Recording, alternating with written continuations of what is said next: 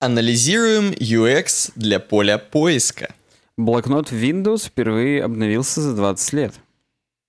Очередной переход с React на Vue.js.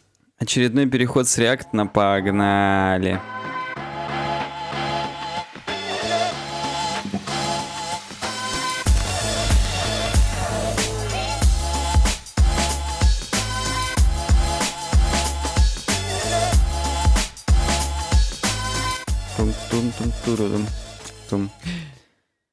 На самом Знаешь, деле, мне... ну, Да, первый. я просто хотел сказать, что вот хочу вот хоть разочек, да, подкаст, где мы не сможем встроить «погнали». Вот, вот не сможем. Вот будет такая, такие громкие темы, вот, вот там везде будет «погнали, погнали, погнали, погнали». Вот такое я уже хочу. Чтобы вот негде было встроить «погнали». Знаешь, это Давай, вот- знаешь, приз, приз чуваку, который предложит такую тему на сайте webdesign.ru, где, кстати, можно предлагать темы. Так вот, на, на webdesign.ru предложите такую интересную, классную тему, которую мы возьмем, и куда вот погнали не встроить. Обязательно. Давайте. А приз-то какой? И за это, ну, сигну, как обычно, на сиськах А, ну распишемся. всё, но вообще, всё, на самом деле, на самом деле, конечно, стикеры можем отправить. Да Ну, придумаем, давай сначала чё, посмотрим мы на хоть- Я хоть претендентов, кружку конечно. свою отправлю, если такое действительно появится. Я горшок свой ночной отправлю. Я дневной готов тоже С отправить. содержимым, естественно. Вот. На самом деле, всем привет. Сегодня у нас уже 25 да? Да, уже 25 С 24 на 25 пишем подкаст, выпуск номер 174. С- Подкаст называется, собственно, «Суровый веб». Я Да? предупреждаю сразу дисклеймер, я сегодня еще более тормознутый, чем обычно.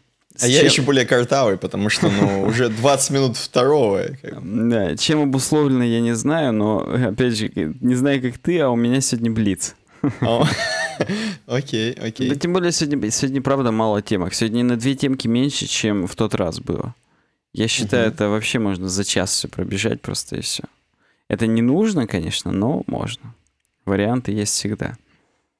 Короче Да. говоря, давай. Опа, я темки даже не открыл. Напоминаю, сильно тормознутый сегодня. Сейчас я от- открываю прямо при всех из нашего слака темки. Пусть мне стыдно будет за это. И ой, я даже пост для темок новый не создал. Ну, короче, да. Не готовый сегодня до свидос. Это, я даже не знаю, с чем это сравнить. Это как, знаешь, футболисты вышли, не размялись, у них лодыжки сразу потянутые все. И как бы вот, да. Ну, ты знаешь, ну, в любом случае, мне кажется, что мы уже заморозкой себе побрызгали на лодыжки. Знаешь же, вот как они делают, Я, да? я отлично понимаю. Вот. И нам сейчас под заморозочку нормально будет. Вообще, первая тема, на самом деле, моя. Так. Поэтому давай я тебя немножко подспасу.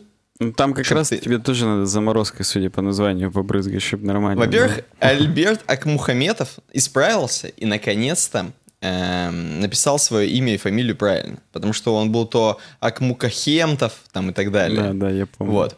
И он красавец. Две новые темы нам предложил. Одну из них мы даже взяли. Э, Зонд НАСА коснется Солнца и не расплавится к чертовой матери, пишет нам Альберт. На самом деле, конечно, там э, не было таких, такой ругани. Э, я про не расплавится, естественно. На самом деле расплавится. Но вообще прикольная тема. Знаешь, почему прикольная? Ну-ка. Потому что это, знаешь, такая...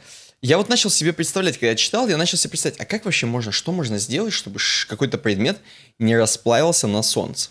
Так вот, и реально, чуваки из нас запустили зонд, который так близко приблизится к солнцу, ну, естественно, не коснется, эм, а так близко приблизится, что до свидос. А там, как вы понимаете, ну, сильная, сильная жара, э, там п- какие-то дикие тысячи миллионов градусов Цельсия. И, короче, тот зонд, он сможет вы- э, выдерживать температуру около 1370 градусов Цельсия, чтобы уберечь содержимое. И, значит, как сделано? Э, До этого тоже посылали всякую хрень, она вся обугливалась в какаху прям. Сейчас сделали крутую тему, серьезно вам говорю. Э, Значит, он как выглядит? Ты можешь вот чуть проскролить, там видосик есть, и как бы уже такое превьюшечка есть. Короче, зонд, да, зонд. У Так. него есть такой прикольный щит. Именно щит. Fucking shit. Money, pussy, wait. Money, pussy, wait. Так вот. Левый, который, который налево смотрит. Который налево смотрит Ага, точно. так. Щит. Такое чувство, как будто камера летит именно на солнце, да? Но это вообще щит, который там сделан, там соткан из девственниц там, говна, который, короче, супер отражает все дерьмо. И, естественно, преграждает вот этим щитом так классно именно сам корпус, да, и всю электронику, что до электроники добивает только 30 градусов. Цельсия.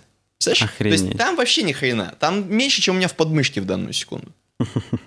Вот. И, короче, эм, но, естественно, сам корпус, сам по себе корпус, тоже состоит из там не, а, огнеупорное, эм, там, супер теплонепроводное дерьмо, которое вообще никогда не расплавится тоже. Но я думаю, что, вот смотри, я просто смотрю на это, да, и просто боюсь, вот если это хреновина, зонд, да, он чуть-чуть повернется в этот вот момент, когда он подлетит к Солнцу, повернется чуть не щитом, да, Сразу а мечом, так сказать.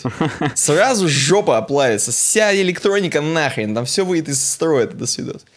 Ну и вот, тут еще перечислены прям очень модные названия сплавов, титано, циркона, молибденовый сплав и так далее. Я просто себе пред- предположил, что еще можно вот из нормального такого сделать, э, в смысле, из жизни, вот именно из повседневной, из вот, вот такого материала. Вот я думаю, что прикольно было бы из такого материала э, огнестойкого сделать кнопки в лифте. Согласись, да? То есть, чтобы они вообще не... нельзя было прижечь. Никогда их, ничего им не будет, да. Вот это нормальная тема. Я бы гараж сделал, чтобы прохладно в нем летом было. Вот не зашел туда и умер сразу, задохнулся нахрен. А как Ну бы да. вот зашел туда, а там хорошо. У тебя А потому что из холодина. титана, вольфрама, молибденового говна все сделано. Ну, еще я думаю, что какую-нибудь насадку на пукан надо из такого дерьма, чтобы она- чтобы не плавилась, так сказать. Да-да-да. Когда в интернет выходишь, чтобы такую пробку втыкал. Ну вот, короче, вот зонд Паркер называется, кстати говоря. Возможно, в честь Питера Паркера, я не знаю, или в честь ручки Паркер. Я не знает. Значит, ручку надо еще из такого сплава сделать, чтобы нормально было. Да. Потому что вдруг сильно много пишешь, знаешь, так писал, что ручка раскалилась уже просто. Какаху опять, как ты сказал. Мне, мне просто, ну, особенно в силу последнего твита, который я скидывал, мне прям понравилось это выражение. Про какаху понравилось, да? Да, про какаху. Ну прям. вот, э, я хочу, чтобы у нас э, предложили еще более остроумные варианты в комментариях. Куда еще можно использовать сплав этого зонда? Картман и анальный зонд going down South Park. Вот. Мы пойдем дальше, в принципе, к следующей теме. Она твоя, кстати говоря. Слушай, ну ты меня подспас, во-первых, чуть-чуть. Я прям почувствовал подспасение. Вот. А я Ты, просто... ты имеешь в ну, виду, все еще не открылось у тебя ничего? Да, мне прям то- только сейчас последнее да, открылось. Мне просто хочется чуть-чуть вернуться. Ну окей, материалы, там все вот это окей. А нахрена? То есть, Ну, понимаешь, they did it for если the мы исследуем- или они а что именно исследовать? Я понимаю, исследовать. Ну, как бы я это тоже мог. Мне просто давай, если, если там статьи этого не было, то давай пофантазируем. Что такого важного, если мы на 20 метров ближе к Солнцу приблизимся? Мы еще больше убедимся в том, что оно горячее? Или что вообще? Ну, вдруг там на самом деле есть цивилизация? Вдруг там э, есть големы огненные? И они как раз и пишут все в чатиках, от чего у всех горит пукан. А у них нормально, у них там устойчиво все. Да, я думаю, что мы их и исследуем. Ну, это достойный ответ, самое главное, прям э, реалистичный, я считаю. Там, возможно, как это, как у на спине у смертокрыла, там такие языки пламени выходят, и ты их мочишь. А, там это еще за них держишься, если вспоминать, как рейд надо проходить. Там некоторые тебя держат, когда он типа пере- перекручивается, чтобы тебя скинуть со спины. И ты типа в эту порчу вступаешь, чтобы за него уцепиться специально. Там ты теряешь, естественно, хп, но как бы зато ты не спадываешь оттуда. Ну так, просто, раз уж мы... Кстати, подписывайтесь на канал Warcraft Rus в телеге, тут как раз на экранах он у вас виден сейчас. Надо сказать, что Альберт а, к Мухамедов он предложил еще и темку про WordPress. И Я на самом деле вот э, хочу, хочу опять что-нибудь про WordPress сказать, но эта темка это абсолютно прикладной момент, как чувак э, встроил ютубный плеер. Ну, короче говоря, он не эмбедит его по умолчанию, чтобы сразу iFrame грузился и так далее. Он сначала рендерит тупо картинку, тупо с, э, с заглушечкой, и только по клику ее уже подгружает iFrame, чтобы быстрее, естественно, страницы грузилась. То есть, ну, такое я даже сам делал когда-то давно, когда нехрен было делать. Ну, там я, конечно, просто отсрачивал его подгрузку, то есть я там не, не вырисовывал из э, заглушечек и так далее, хотя я находил в тот момент скрипт, который делает вот то же самое, но он, естественно, был на jQuery. В данном случае-то у него, естественно, тут на, на ванильном JavaScript уже все есть. Вот, ну, что это в подкасте рассматривать? Это смешно. Это можно просто там на каналчик куда-нибудь выложить или еще куда-нибудь. Ну, во-первых, на анальчик, а во-вторых, Вот да, я хотел сказать, что все, кто отсрачивает подгрузку, ставьте лайк. Да, идем дальше. Пушкин нам предлагает тему. Это, кстати, еще к 173 выпуску было. Кстати, темки к 174 какие-то безликие. Все вы перегрелись, видимо, на солнце. Вы к солнцу, похоже, приблизились. И какие-то темки немного не те. Я вот честно все посмотрел. Одна хорошая была. Там ее Руслан, кажется, какой-то приложил. Бел- Вот, Билый. но- Билый, да. Но кто- я ему там задал уточняющий вопрос. То есть он, в общем, написал, типа, блин, было бы прикольно, если бы вы обсудили там какаху. Я Ты написал, имеешь, «Ну ты ты имеешь в виду, он плавает в ссылку». материале? Он, ну он нет, он просто общо тогда сказал. И я ему говорю, ты, говорю, приложи конкретно какаху, которую обсудить. И он ее приложил, но темки уже были готовы. В тот момент уже коррективы нельзя было вносить, поэтому мы обсудим это в следующий раз стопудово. Так вот, Пушкин нам говорит, вот я, говорит, не согласен, что всегда нужно так делать. На том же примере Uber ведь не дураки, зачем-то не решили сместить поиск к низу. Тем более, уверен, много зависит от высоты экрана. Из э, описания, Никита, тебе понятно, о чем темки вообще? В принципе, пока не очень, но давай. Темки о том, где нужно... Как вообще строить experience поиска в мобильных приложениях. Практически прям по бабичу. Первая тема с UX Design CC, вторая с Музли. И мы что, и такие. то, и то возьмем? Ну да, они дополняют друг друга. Я сейчас просто их суммирую, потому что здесь не так много фактуры. А, На UX Design CC нам Theoст Штраус пишет. Страус или Штраус, я не знаю. Думаю, что Штраус. Э, 17 лет ему, судя по фотке, так и есть. Но он написал вполне неплохую заметочку о том, что давайте, чуваки, вот подумаем. Есть такое приложение Lyft. Это как Uber, короче говоря. Почему я об этом не знаю? Ну, очевидно почему. Видимо, оно работает только в Сан-Франциско Bay. Вот где его Мгм. только сделали в Кремниевой долине, вот только там еще работает. Так вот там отошли от привычного experience а, когда поисковая строка сверху, и сделали ее снизу. Ну а теперь давай посмотрим. Вот он прикладывает конкретные примеры. Facebook. Сверху поиск сразу, причем есть на главный. Так. Кстати, скрины все с iPhone X. То есть э, не бедствует Штраус, видимо.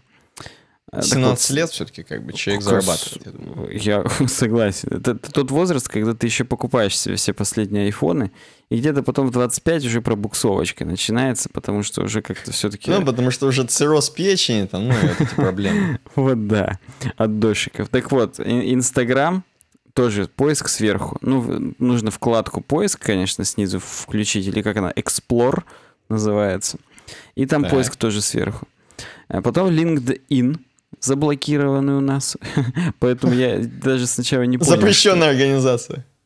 А Я даже сначала, ну, не понял, что это LinkedIn.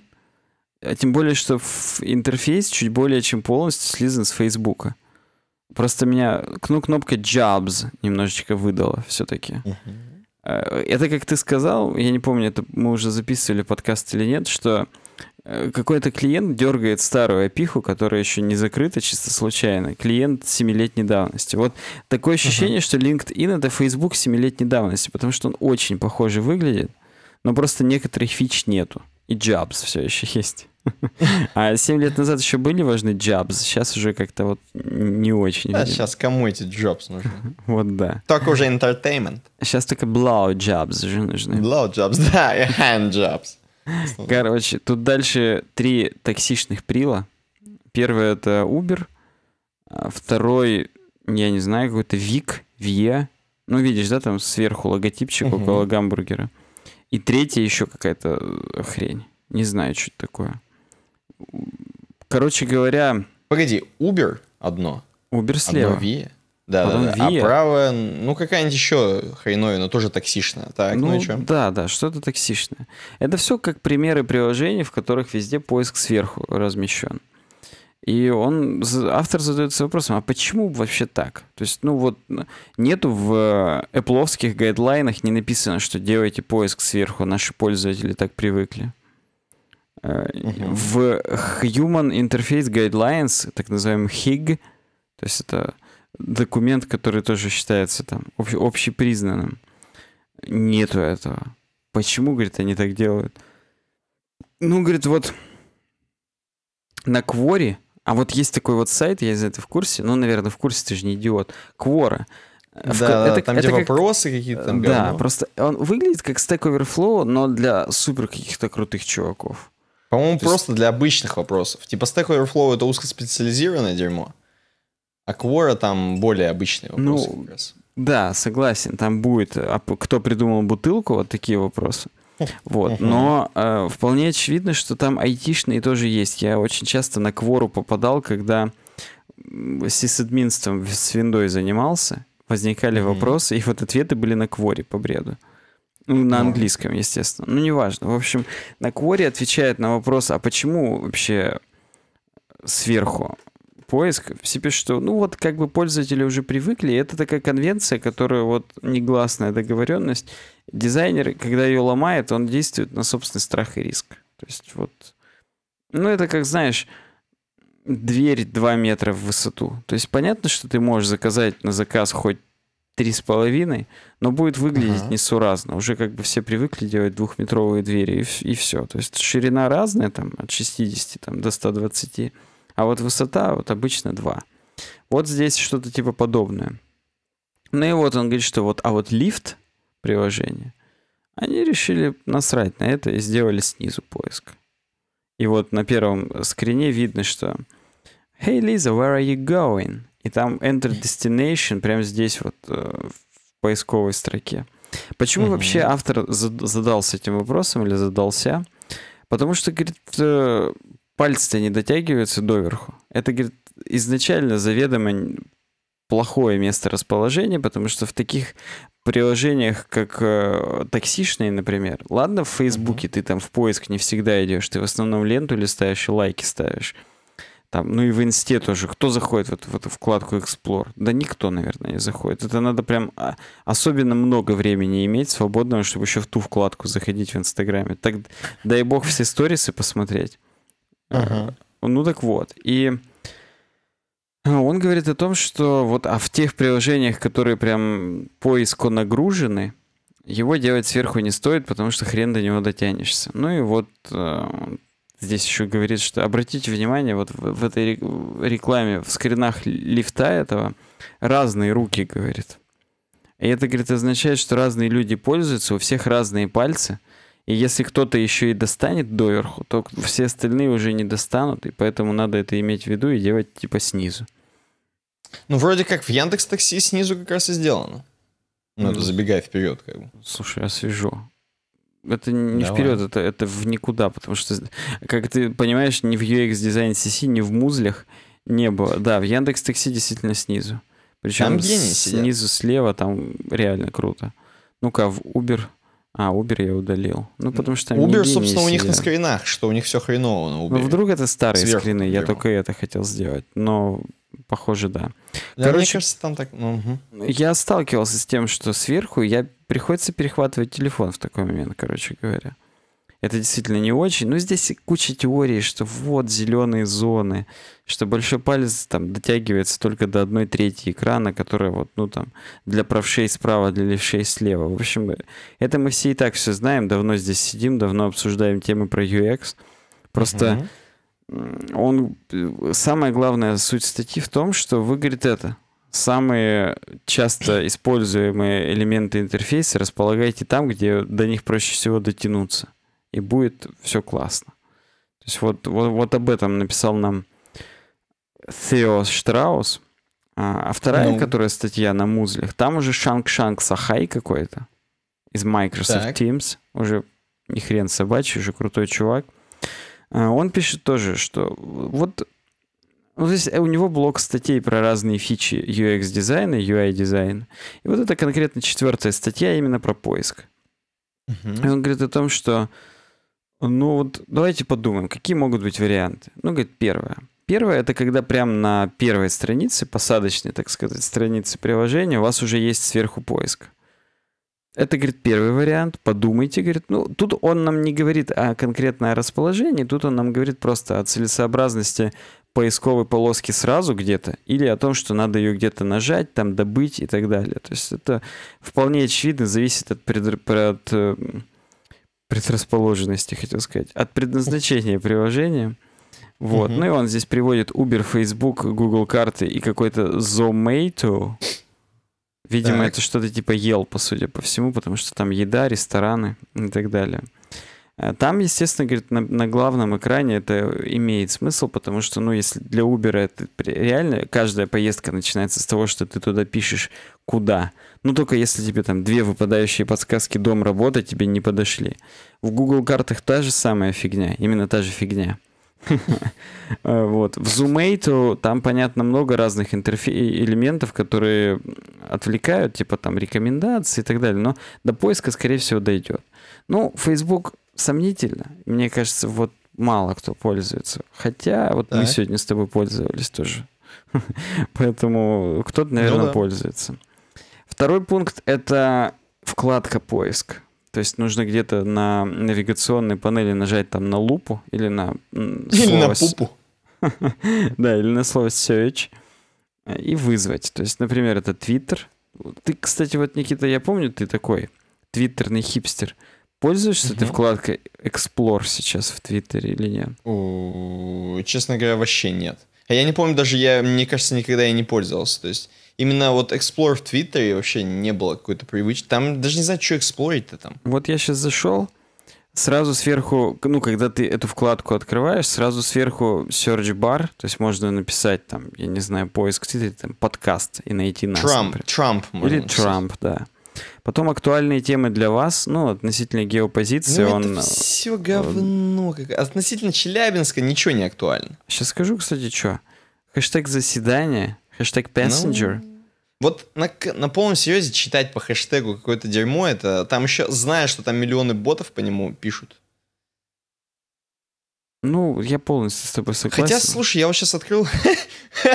сейчас вот открыл, как бы, и у меня тут видео games мне советуют э, типа, жить в, в видеогеймс, угу. по, поскольку вы читаете PlayStation и еще 8 подобного дерьма, и, походу, я буду теперь пользоваться.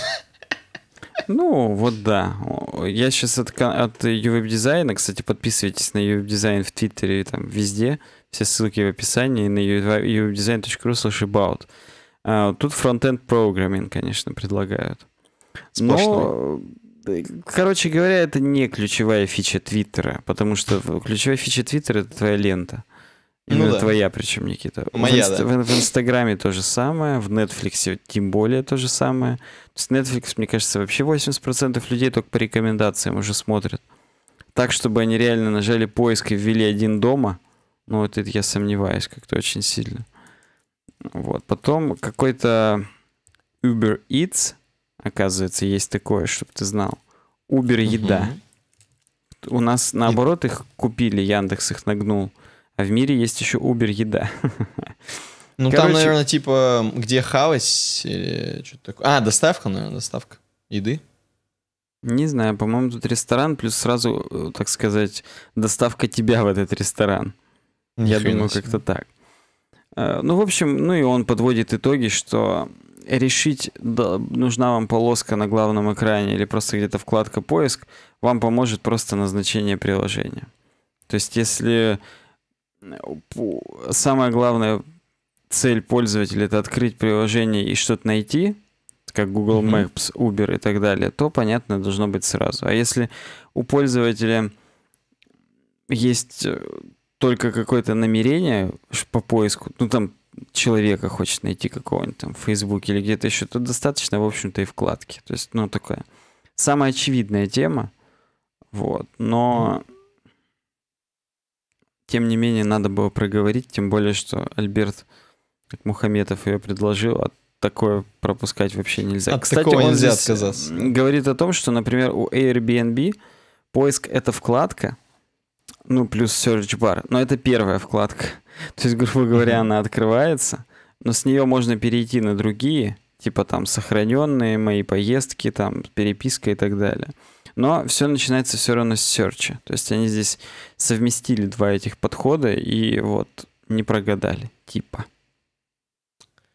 Окей, окей. Именно Немножечко окей. вот, так, вот такого UX у нас сегодня с утра, хотел Отлично. сказать. Ну, а уже, уже нужен, утро нужен практически, UX.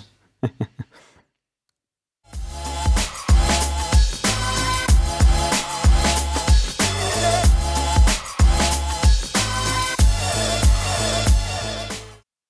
Идем дальше. Следующая тема, это даже, я не знаю, это не UX, это какой-то просто, э, ну, это какой-то просто бэкэнд, я бы даже сказал. Но нет, на самом деле, блокнот в Windows получил первое значимое обновление за два десятилетия. На хабре статья, видимо, найдена тобою чисто. Хотя я поверил бы, что 100 миллионов людей должны были предложить нам эту статью.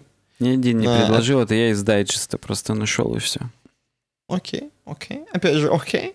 Мы знаешь, мы по учителям с тобой видим это все, и как бы общая, так сказать, картина класса, она видна сразу. Кому тройки ставить, кому четверки.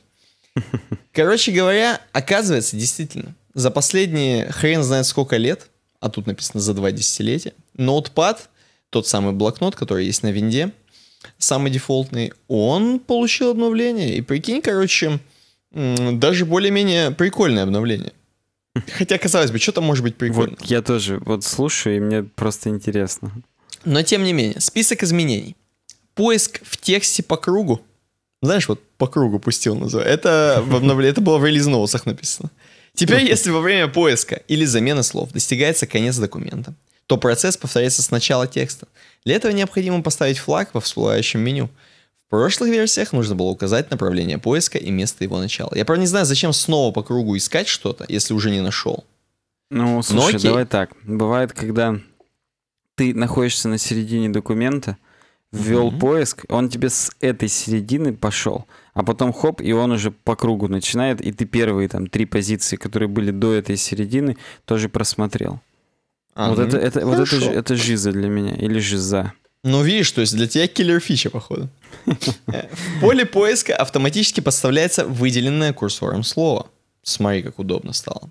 Стрелки на клавиатуре корректно отменяют выделение текста, лишь потом перемещают курсор. Вау. При Инновация. помощи... Вот это, вот это супер киллер фича, отвечаю. Знаете, для всех... Ну вот, я часто вижу, знаешь, короче, э, часто вижу, вот я это встречаю на каких-нибудь стримах, чуваки просто хотят что-нибудь быстро записать на экране, Мгм. и сделать, чтобы большой экран... А, можно как бы это сделать силами твоей как бы стриминговой хреновины, программки, именно. Мгм.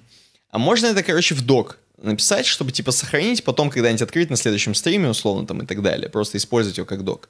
И, короче, хочется подзумить текст, чтобы как бы большие, большие буквы были. И вот, при помощи комбинации клавиш Ctrl плюс Backspace, а, сорян, вот последнее, масштабирование текста. Увеличить или уменьшить текст можно стандартным способом. Путем сочетания долгого нажатия кнопки Ctrl на клавиатуре и последующей прокрутки колесика мыши. Или плюс, или минус. Такая функция давно используется в большинстве текстовых редакторов и браузеров, но в блокноте она появилась только в 2018 году. Вот, как тебе такое? Как тебе такой Илон Маск, я бы даже сказал, потому что... Да, да. Ну и, в общем, на самом деле здесь еще несколько штук. Особенно мне нравится, что теперь можно слова из ноутпада искать в бинге сразу, автоматически. Вот, например, чуваки здесь э, ищут Infinity War, э, Мстителей. М, Короче, и чувак задает такой, знаешь, риторический вопрос. Почему в Microsoft столько лет обделяли блокнот весьма полезными функциями, а теперь вдруг взялись, взялись за его обновление? Как вы считаете? Спрашивает он. И я, в принципе, тоже хочу спросить у наших слушателей и зрителей, почему э, Windows ворошит прошлое, казалось бы, да? Я еще, мне просто интересно, вот я блокнот бывает местами иногда открываю, ну вот супер-супер редко, но что-нибудь вот, вот надо, вот что-нибудь открываю блокнот.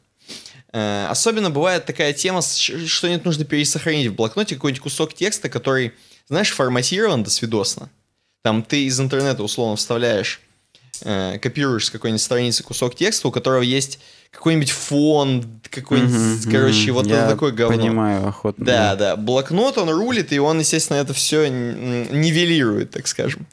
Ну, Я еще хотел смотря сказать куда. еще. Если, например, в Word, там есть правой кнопкой простая вставка. То есть без... Да, но э, что-то она иногда бывает непростая. Ну, в общем, бывают случаи. Я понимаю, что да, есть способы, но бывают случаи. Тебе слышно в микрофон, что у меня на улице орут или нет? Не, у тебя тишина спокойная вообще. Просто я сейчас поменяю ухо наушников. То есть я как бы у меня наушник на правое ухо, и, и, я к окну сижу тоже правым ухом. Поэтому я отдаленно только левым слышу, и там какой-то какие-то крики странные, как будто там соитие уже совершают. Соитие совершается, да, летом бывает такое. На улице приятно совершать соитие. Так вот, вернемся к ноутпаду. Как Windows совершал соитие с ноутпадом. Эм, мне знаешь, что классно? Мне хочется представить себе, что мнимый такой есть чувак, э, который 20 лет назад, такой, ну, кто знает, типа как Умпутун, короче, Mm-hmm. Такой чувак, знаешь, такой уже, ну, не то чтобы старичок, но такой, э, скажем так, зрелый программист. 20 лет назад написал этот код, возможно, его перекинули на другой проект, он там занимался ядром винды и так далее. Но каждый день его грело то, что вот его э, программу используют, и она стабильно работает, ее никто не фиксит, не апдейтит, ничего не добавляет, и она классно 20 лет существовала. И он прям, я думаю, прям... И, возможно, его даже откопали из соседнего отдела, привели, сказали, чувак, может, апдейты какие-нибудь на твое дерьмо выпустим, которое ты написал на C, на C еще сто лет назад, и никто в твоем коде так и не, не понял ни хрена. И он, возможно, вот добавил как раз прокрутку колесиком. Ну, слушай, вот э, всегда самые дурацкие варианты, скорее всего, являются Правдивые, правдой. Ты. То есть тут э, не удивлюсь нисколько вообще. Вот. А по поводу... Ну, слушай, помнишь, Paint, они тоже там отряхнули, сделали Paint 3D и так далее, и там вообще большинству mm-hmm. людей даже и по вкусу-то он не пришелся. Да, Поэтому да. что-то они пытаются, там, что-то они темнят, что-то придумывают. Там как-то куда их кривая это заведет? Сначала GitHub купили, потом блокнот обновили. Что дальше? Это что? Это чё же? Баги это? будут все да. фиксить, что ли? Это как-то уже недостойное поведение. Да, согласен. Короче, следующая статья у нас из патроновского чатика к нам пришла. А мы опять, видишь, так. отслеживаем судьбу всех статей. А, Костя Гончаров нам ее скинул со словами, ну это же от Ани Павловой. И я это кто-то, это видимо... кто вообще? Он говорит, ну как это же software инженер в ГМБХ? Я говорю, а, но если software инженер это ГМБХ, то тогда, конечно, придется рассматривать. Вот рассматриваем очередную 100-тысячную тему о том, как люди переходят на ВУЙ. На тяжелые наркотики? Да, да, прям хмурым начинают ставиться. Это вот так. в роли хмурого ВУЙ. Так вот, и на самом деле это, это обрати внимание, это что-то да значит, да? Люди ведь реально все уходят с реакта на вуй. И у тех, кто все еще остается на реакте, у них бомбит. Они теперь не самые cool kids. Угу. И давай посмотрим. Я хочу... Я в прошлый раз э, голословно говорил, что Vue.js перегнал React по звездочкам на гитхабе. А теперь я хочу убедиться своими глазами по Дарту Вейдеру в этом. Так, React на GitHub у нас имеет... Сейчас посмотрим, сколько у нас имеет. Я пока вуй открываю на GitHub. GitHub. А, так, у React на Фейсбуке 107 150 звездочек, а у Вуя 108 529 звездочек. Вот действительно перегнал на 1000 звездочек. Ни хрена себе. Это рубрика No Comments на Euronews. Реально да, люди его стали больше любить, чем React.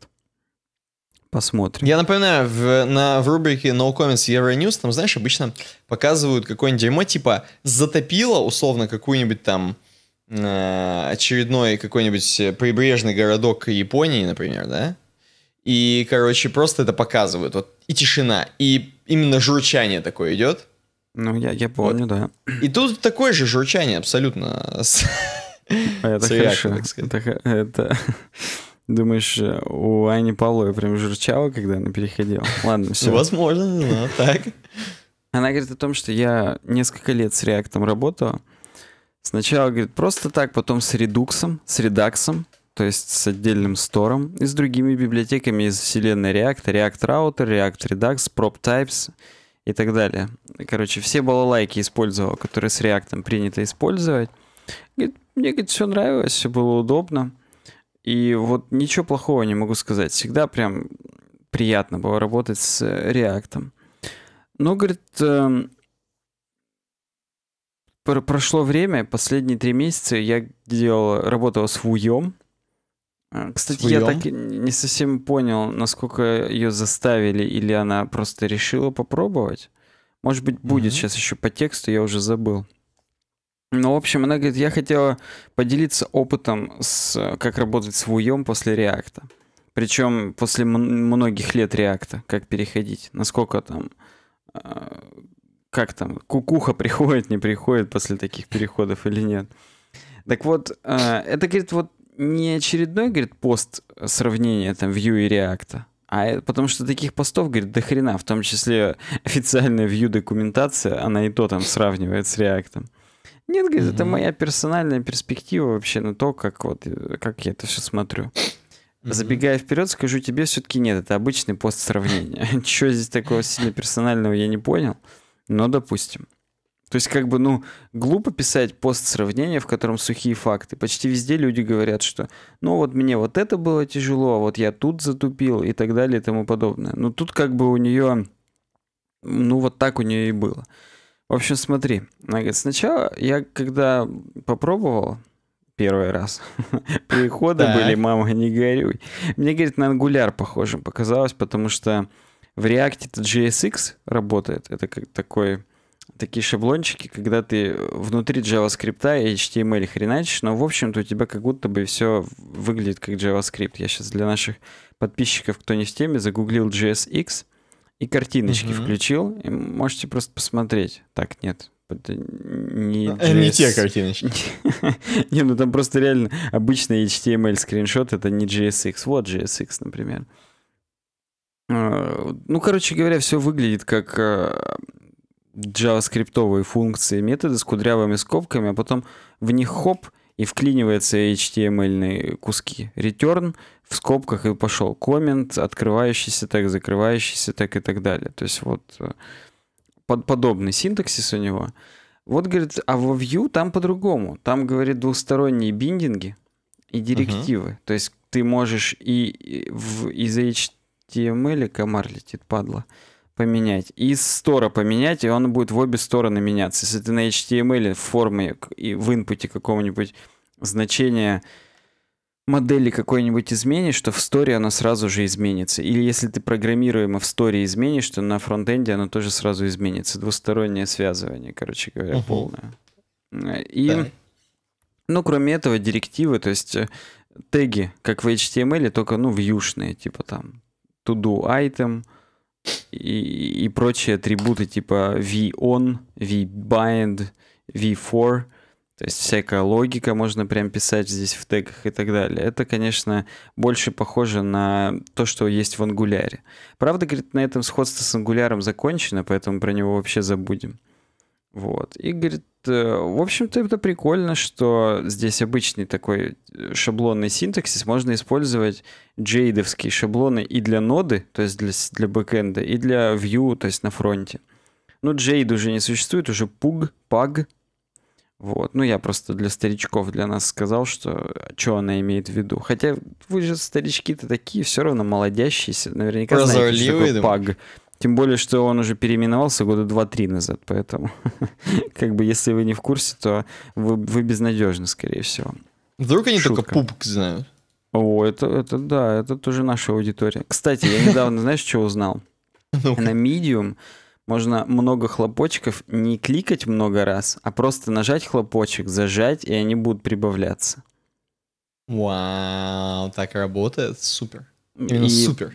Да, и как-то вот к вопросу о UX это было не очевидно совершенно. Сделали бы они так, ну, по кукам бы смотрели, что когда я первый раз зашел там после долгого времени, у меня, знаешь, такая схематичная ручка мне показывает, что можно на него навести, нажать и долго нажать, и типа будет увеличиваться. Ну, Знаешь, как когда первый раз заходишь, у тебя мини-туториальчик такой появляется, Мгм. вот, что-то за тебя делается сразу, и вот, ну, ну, понимаешь, может быть, они так и хотели. Типа, это скрытый прикольчик такой. Ну, поймешь, поймешь, не поймешь, жми 50 раз. Да, причем знаешь, как я узнал? То ли тот чувак 17-летний это написал в заключении, типа, «А если вам понравилось, зажмите хлопочек и держите, пока, типа, до 50 не дойдете. То есть он Ни прям хрена. манипулировал по- по- подписчиками, своими, своими зрителями, читателями. Ладно, неважно, продолжим. Э, как устроен Store? Store в React принято делать через Redux. Это, э, так сказать, реализация паттерна Flux для React, а на Vue.js через Vuex. И несмотря на то, что, в общем-то, они, ну, крайне похожи, есть конкретная разница. В чем суть редукса, редакса? В том, что state неизменный, immutable полный. Это прям ключевой, так сказать, момент. А во Vue всегда можно мутировать и свойства, и, и state, и, в общем, все что угодно. Оно друг за другом, так сказать, меняется. Но это, опять же, наследие того, что там двухстороннее связывание. Ну и, и не только это. Это просто еще и реализация непосредственно стора диктует такую хреновину, потому что Вообще в React можно с мутабельными данными работать, то есть он работает с ними, но рекомендуется этого избегать, э, избегать изменения тех эм, значений стора, которые используются как пропсы в компонентах, ну, то есть как свойства компонентов. Почему? Потому что э, в React так вот сделано, я, кстати, не знал, прочитал, для меня стало тоже откровением, что каждый раз, когда меняется что-то в компоненте, происходит и ререндеринг не только этого компонента, но и всех его дочерних компонентов. Поэтому если у тебя условно в обертке какого-нибудь, ну, в каком-то большом сайдбаре, в котором еще 15 компонентов внутри, сложных тоже, у которых динамически зависит дерьмо, а ты в сайдбаре сменил title случайно, программируемо, то у тебя ререндерится не только сам title сайдбара, но вообще все дерево компонентов, которые внутри него. Это бред бредовый на самом деле. И она потом написала в конце, что вообще-то уже сделали у React какую-то там опиху, ну мы сейчас дойдем до конца, я не помню просто как называется, уже пофиксили, что ну нет такого уж конкретного говна. Вот. Но тем не менее, пока этого не было, было принято использовать так называемый pure component. Э, то есть, э, ну как, как с в функциональном подходе pure functions, которые не зависят ни от каких значений или других функций, которые возвращают чистое значение, просто каждый раз считают и все. Вот. И что касается view, то там все автоматически трекается, пока рендерится. И если вдруг что-то одно изменилось, то ререндерится только тот кусочек, который изменился. То есть, ну, он просто современнее, и он делался уже с э, учетом, так сказать, тех ошибок, которые были допущены комьюнити. Ты знаешь, я вот пришел покупать ламинат, квикстеповский вот этот. Я говорю, а что, говорю, вот вы так вот говорите, что у вас там не надо было ни герметизировать, ничего. Ну, у них какой-то прям мастер ламинат, как мастер рейс. Он говорит, ну, говорит, а квикстеп не спешил. То есть он подождал, пока все сделали ошибки. Я потом сделал просто самый крутой и все. То же самое с, ви- с виниловой плиткой. Виниловая плитка, говорит, же уже, ну, лет так 7-8 на рынке. А квикстеп я сделал года три назад только. То есть он, опять же, учел все ошибки, и там виниловая плитка у квикстепа, она до 80 градусов держится, ничего не выделяет, ее не ведет вообще Цельсия. Почти на солнце можно э, класть. На тот зонт можно за защиту положить, и нормально будет, не поведет. Поэтому вот Vue то же самое, он просто чуть позже был, поэтому, особенно вторая версия, она прям, э, она прям крутая. И вот Аня в данном случае, она прям балдеет, она прям пишет балдеж, бал балдеж. Вот. Здесь дальше идут э, сугубо технические моменты о том, как работа с стором происходит в React и так далее. То есть, э, ну как происходит? Есть Action Creator, то есть ну, какая-то функция, которая какие-то действия создает. Это действие передается в компонент, компонент диспетчит, то есть э, посылает, э, как бы тебе это сказать-то, ну, не callback, это бред. Ну, короче говоря, посылает сигнал, будем говорить уже такими моделями, посылает сигнал в store, в store отрабатывает редюсер, то есть функция, которая работает со значением, и меняет state, то есть меняет состояние приложения, а состояние приложения уже обратно в компонент э, что-то, ну, какие-то действия тоже совершает. Э, ну и, конечно, это все во Vue чуть-чуть попроще. То есть там нету такого э, сложного. Здесь просто классическое идет круговорот. Компонент, э, ну как бы, что-то меняется, происходит. э, происходит action действие, этот action производит мутацию данных, мутация данных меняет состояние приложения, состояние приложения отражается на компонентах. Но в случае, опять же, с Vue, компоненты сами могут, то есть внутри компонента есть какие-то обработчики, которые там при он, там, на событие onBlur, допустим, напрямую так. по событию onBlur ты можешь менять значение в сторе. По архитектуре лучше все равно через action это делать. То есть делать так, что onBlur не сразу меняет значение там какого-нибудь в сторе каунтера там с 5 на 6, она вызывает action увеличить значение каунтера, а он уже меняет э, в сторе. То есть это просто ну, для удобства чтобы потом в коде разобраться, лучше все-таки делать через экшены в любом случае, потому что, ну, эту парадигму тоже не зря придумали. Так оно как-то вот надежнее, когда э, ты всегда знаешь, что в компонентах у тебя нет никаких обработчиков таких. В компонентах есть только вызовы экшенов, а экшены уже работают со стором. Просто тупо разграничение, так сказать, э, обязанностей. Поэтому не знаю э, Хотя вот э, официальная вьюксовская документация говорит, что экшена лучше использовать только когда асинхронное дерьмо какое-то происходит.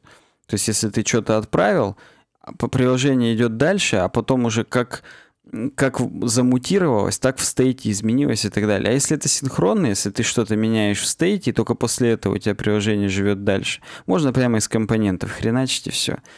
Ну, это вопрос просто подхода. Опять же, раз мы сегодня байтим наших подписчиков на комменты, напишите в комментариях, вы как? Во Вьюксе меняете прямо с компонентов, лень вам экшены писать или нет? И если не лень, вы эти экшены вообще их где храните? В отдельном файле или, или здесь же где-то там в скриптах вокруг компонентов? Напишите, мне это уже тоже интересно. Уже тоже. До этого-то не было, как бы. Да, конечно, до этого-то мне вообще наплевать было, как кто делает. Раз уж мы сегодня с тобой договорились узнавать мнение, то вот да. Здесь дальше идет про функцию connect, которая говорит о том, что в React из компонентов общаться со стором можно только с помощью функции connect. И здесь даже говорят, лучше делать вот компоненты, которые общаются со стором, а есть компоненты, которые просто рендерят вид. То есть там компоненты компонентов использовать. Ну, как бы, а, опять же, не совсем понятно, почему надо было такой огород городить, но она прикладывает ссылки, что обсуждается здесь и здесь. Типа умные mm-hmm. и тупые компоненты. Как знаешь, к нам в поликлинике пришел когда чувак, новый сетевик, он смотрит на коммутаторы нашего, говорит, так у вас говорит, только один умный коммутатор, все остальные тупые. И как бы потом я уже понял, что он имел в виду управляемые и неуправляемые коммутаторы. И, но как бы я бы не называл неуправляемые тупыми, потому что ну, свою функцию-то они выполняют. То есть, ну, это такое, это уже его какой-то дурацкий жаргон, но неважно. Ты ему сразу вмазал, врезал. Я вместе с ним такое. еще вмазал после этого, потому что как бы ну, надо вопросы да. решить. Ну а в Vue, короче говоря, через Dollar Store всегда можно к стору получить доступ просто и все. То есть это достаточно прозрачно. Сторону есть сторону. Лежит где-то неподалеку, из всех компонентов можно получить к нему доступ. Угу. Так, что дальше у нас здесь? Дальше у нас Следующая, да, тема, ты хочешь сказать? Не-не-не, Следующий... я эту тему а. смотрю. Какие? Ты что? Здесь еще о многом надо сказать. Как минимум, как называется опиха новая. React Context API, который позволяет э, передавать данные из компонентов не из компонентов верхний компонент, оттуда еще верхний, оттуда еще верхний через Connect, а все-таки напрямую из, из компонентов доступаться до стора, видимо. Поэтому тут да. Ну, в данном случае он, опять же, говорит, что в React, ой, господи, во Vue тупо удобнее. Угу. Можно передавать пропсы в... Так, сейчас подожди, сейчас, чтобы, чтобы не, не сказать лишнего. Да нет, пропсы передавать, она наоборот пишет, что неудобно, потому что много кудрявых скобок надо ставить. Ну, обычно, я как бы даже не скажу, что сильно неудобно.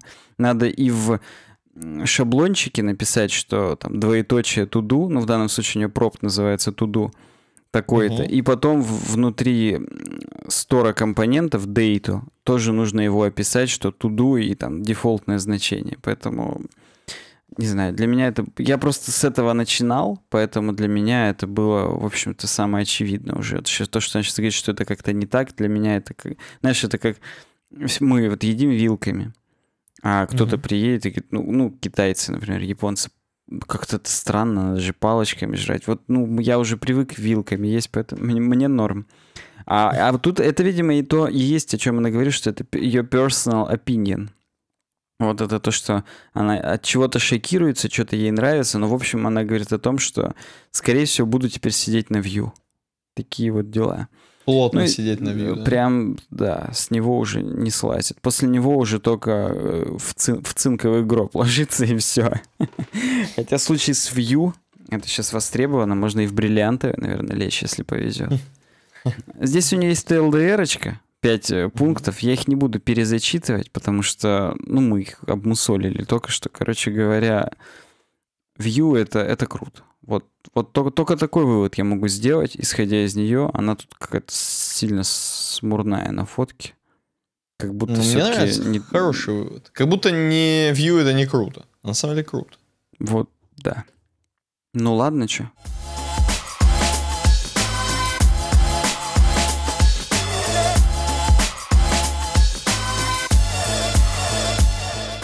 Давай дальше. Бобинники у нас. Бобинники, да, бобинники. И у меня в слайке написано бобинки. Но вообще, ну, мы давно Бабича не брали, поэтому вместо него мы вот бобинники смотрим. Краткая история катушечных магнитофонов и рост интереса к, аудио, к аудиогаджету сегодня. Быстро пройдемся, потому что здесь, ну, такие выдержки, которые не каждый выдержит, скажем так. Слушай, так как вот, завернул круто. Да, аналоговая музыка и не думает уходить в прошлое, как здесь написано. Ну и да, все мы знаем, что сейчас есть определенный тренд э, среди определенных людей, которые любят винтажную электронику, винтажную, э, особенно винтажные всякие магнитофоны, патефоны, как это говорится. И, короче говоря, здесь нас немного окунают в прошлое, вот прям именно с головой, что в 1878 еще берет начало свое история катушечных магнитофонов, и там пацаны еще кастомили фонограф Томаса Эдисона или Эдисона, как ему больше нравится. И а тебе прям... как больше нравится? Мне и так, и так, в принципе, достаточно. Смотря, про, смотря о каком аспекте жизни Эдисона идет речь, так сказать. Угу. И, в общем, короче говоря, некий Оберлин Смит, или Оберлин Смит, э, начинает экспериментировать с этим устройством, с фонографом Томаса Эдисона, и э, ну, там они балдеют по-всякому с магнетизмом, короче, э, как там намагничивается вот эта пленка, хлопковая нить здесь используется еще. Короче говоря, он, на самом деле, чувак, Смит, он чуть-чуть пока стомил, его задолбало, короче. Ну, говорит, вот времени нет, до свидос. Нарисовал чертежи всякие различные и подумал, что, ну, продолжит, как бы, поколение следующее. И действительно, следующее поколение продолжили некий Вальдемар Поульсен из Дании уже непосредственно. Заинтересовался всем этим дерьмом, начал кастомить еще круче, короче, еще круче, и пошло, пошло, пошло. И в итоге, в итоге, сделали вот именно такую бобину, вот, которую мы знаем, именно такая с лентой, с обычной, классической.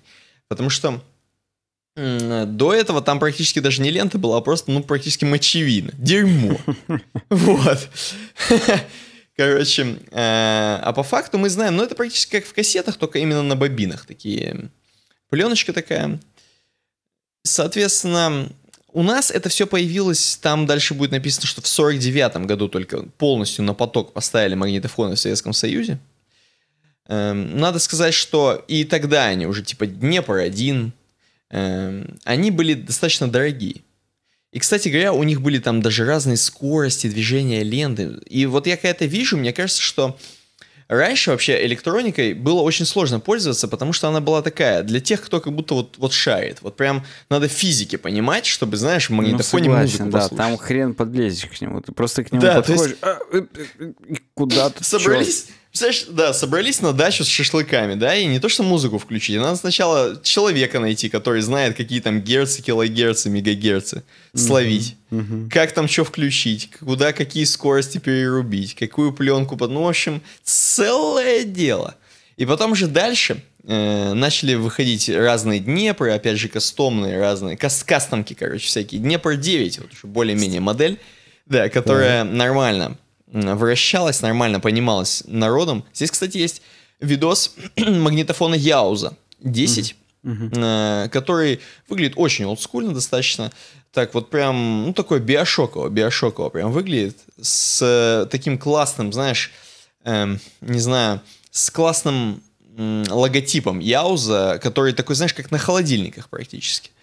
Вот, в общем, прикольная тема. Э, Дальше здесь тоже написано, как вообще, в принципе, изменялось. Батарейный проигрыватель стал весна в 63 году. Эм, ну, вот здесь есть фотография, например, э, ноты, которая была очень популярна. Кстати, нота прикольно выглядит, как будто это Тут уже не какое-то... надо вот человека нанимать. Тут Не нужен человек. Кукольный домик, три кнопки и крутилка. Да, такое чувство, что из, дэн, из Дэнди, как, как будто вы вынули и сделали вот ноту. Нота уже действительно однокнопочная какая-то. Хотя у нее есть какая-то вращающаяся хрень, тоже вроде надо понимать что-то. Но на практике ничего не надо понимать. Я помню, у меня был виниловый проигрыватель. Э. Он как правильно называется, не знаю именно. Ну, короче, он проигрывал виниловые пластинки, соответственно, в детстве. Ну, у тебя тоже вроде бы был. Но у меня есть. И там тоже были, да, были тоже дополнительные всякие, знаешь, штуки-штуки, которые Ну, можно было изменять. чтобы- переключать Да, скорость. было, На самом деле, в итоге это все было чуть ли не для того, чтобы чистить, потому что э, на высокую скорость ставишь, и знаешь, вот это вот, есть там Да, такая да, да, штучка штука специальная. С, бархатом, да-да-да. Да-да-да, ты ее держишь, она чистит, типа. Э, Ну, такая хрень, короче, полная. На самом деле, все это проигрывалось на одной скорости, и не надо было ничего другого делать. То есть, я вот как на Ютубе не включаю сейчас 2х скорость, так и на проигрывателях не включал. Все сказки слушались мной в 1х. Слушай, Как я вот сегодня слушаете? включал на YouTube 2X, вот к нашей последней темке. Я просто п- хотел ознакомиться поскорее с, э, с контентом, так сказать, я включал в 2X, чтобы, ну, чтобы не ждать долго. Так что я, бывает, Ну, включаю, честно тебе скажу. Стыдно, ну вот конечно. противно. Стыдно признаться, да. Вот. Может быть, отписки последуют после этого сегодня. Но я даже иногда ролики в 2X смотрю. Отписки. Сейчас не отписки, а все тоже в 2х перейдут. А нас и так я слышал, что... Ты, кстати, слышал, что нас э, часто слушают, ну, Да, да слышал, слышал. Возможно, они, знаешь, как сделают? Они сделают 2х, запишут это на бобину, и там еще 2х сделают. Ух ты. Ну, это, это человека, опять же, нанимать надо, потому что... Да.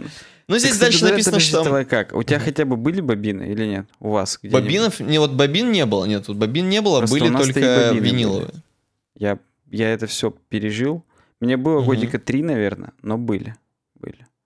А что, вот ее сложно заряжать вообще туда, внутрь вставлять? Да нет, вообще не сложно. Мне кажется, там, по крайней мере, в той, в той модели, которая у меня была, там оно просто вставляется как-то и все. То есть там достаточно просто это было. Поэтому... Ну, э, ну вот, в общем, дальше 60-е и так далее, 80-е, там уже когда начали копировать с бобины на бобину Высоцкого, Куджаву и так далее, Висбора, если вы понимаете, о чем я, аквариум, зоопарк, машина времени, это уже более позднее кино, тогда уже распространение, естественно, получили в том числе и кассеты, потому что кассеты все-таки лучше, знаешь, похуже качество, да поменьше проигрыватель. Как бы и кассета поменьше. Проще слушать и вообще.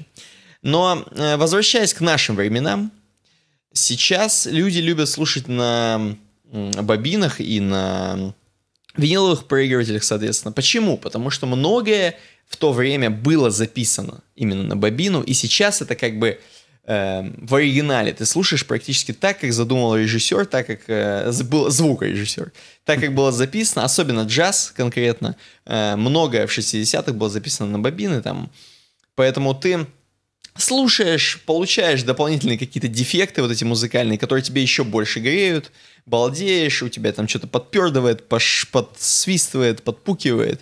И, собственно, вместе с джазом, с вот этими щеточками, со всем вот этим вместе, ты как бы погружаешься в ту атмосферу 60-х, балдеешь, у тебя кожа чернеет, темнеет. Ну, в общем, все классно у тебя. Я вот, честно сказать, до сих пор мне хочется хороший виниловый прыгать. Для чего? Чтобы понять, басы-то там записывались или нет?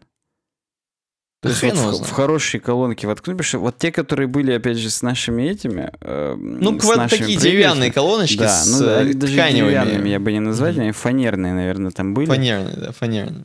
Иногда пластмассовые у меня от дяди Вовы две именно пластмассовые были, а от другого такого Ну, это более хай-течные, с черными, да, такими? Да, да, черные, там по два динамика, но опять же, динамиками это не назвать, это то еще говнище было. А вот в нормальные воткнуть, ну я там не оптикой уж, ну хотя бы там нормальными аналоговыми аудиопроводами, но хотя бы пятиканальный звук из винила получить, вот хотел бы я на качество посмотреть. То есть, чтобы было с шуршанием, но чтобы, если это Joy Division, то чтобы бас был все-таки, ну, низкий, такой, бу-бу-бу-бу, ну, прям крутой.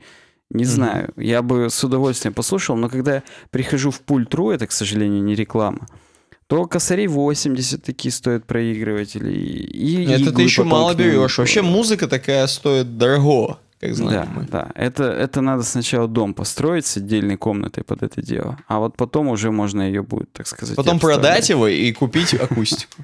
Да, стопудово. И просто на улице с ней выступать просто.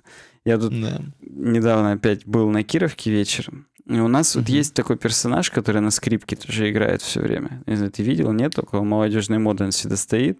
И вокруг него Ну. всегда реально толпа в круг людей. То есть он Мгм. прям, он там собирает уже это. Я, Ну, вот я думал- конкретно не видел, кто, но я слышал, ну, издалека как бы.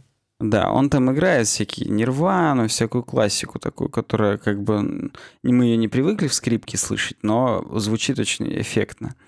И мне, я подумал, что у него, наверное, каждый день дилемма. Он же должен каждый день в разной одежде быть, чтобы, так сказать, ну, не примелькаться. Это он практически артист. То есть он выходит каждый день, и он артист. И ему надо вот соответствовать, так сказать. Я вот подумал, вот проблема, наверное, у человека. Он совсем, совсем Да другие. и он как бомж не переодевается. А потом дальше отходишь, и там просто кино э, поют без, без голоса, без слуха. И подходят, э, а поддержите уличных музыкантов. Ну, как бы вот нет. Не тот Ты имеешь в виду уровень. не соответствует, Да, да? да. У нас там есть еще, ладно, чуть последнее скажу. Харизматичный старик, который на какой-то старой гитаре играет, оцинкованной. Знаешь, вроде акустическая гитара, а у нее именно металлические такие элементы сверху есть, видно Мгм. накладки. Э, Вот, вот его еще хоть как-то хочется поддержать. А вот этих ребят как-то... Почему до сих пор играют кино? Уже 2К18. Почему... Ну, людям нравится, понимаешь, если люди перестанут просить кино, Да говно, они это делают ради собственного удовольствия, я уверен. Если бы они там ну, вообще еще просто, это очень просто играть, понимаешь? Три аккорда, которые играются. А то есть ты думаешь, LJ сложнее играть? Я думаю, что Ну, даже условно System of a Down будет сложнее играть. Ну, System of a Down, само собой, его еще и спеть будет сложнее, у нас английский никто не знает.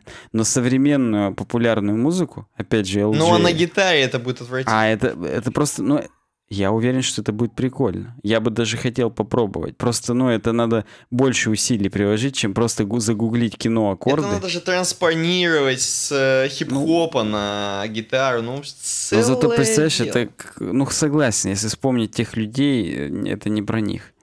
Не дай бог, у них тональность другая, чем у LG. Все, это непосильный труд будет, чтобы транспонировать такое, поэтому согласен с тобой полностью. Ну ладно, давай, пошли дальше. У нас про Тиндер. Пошли дальше. да.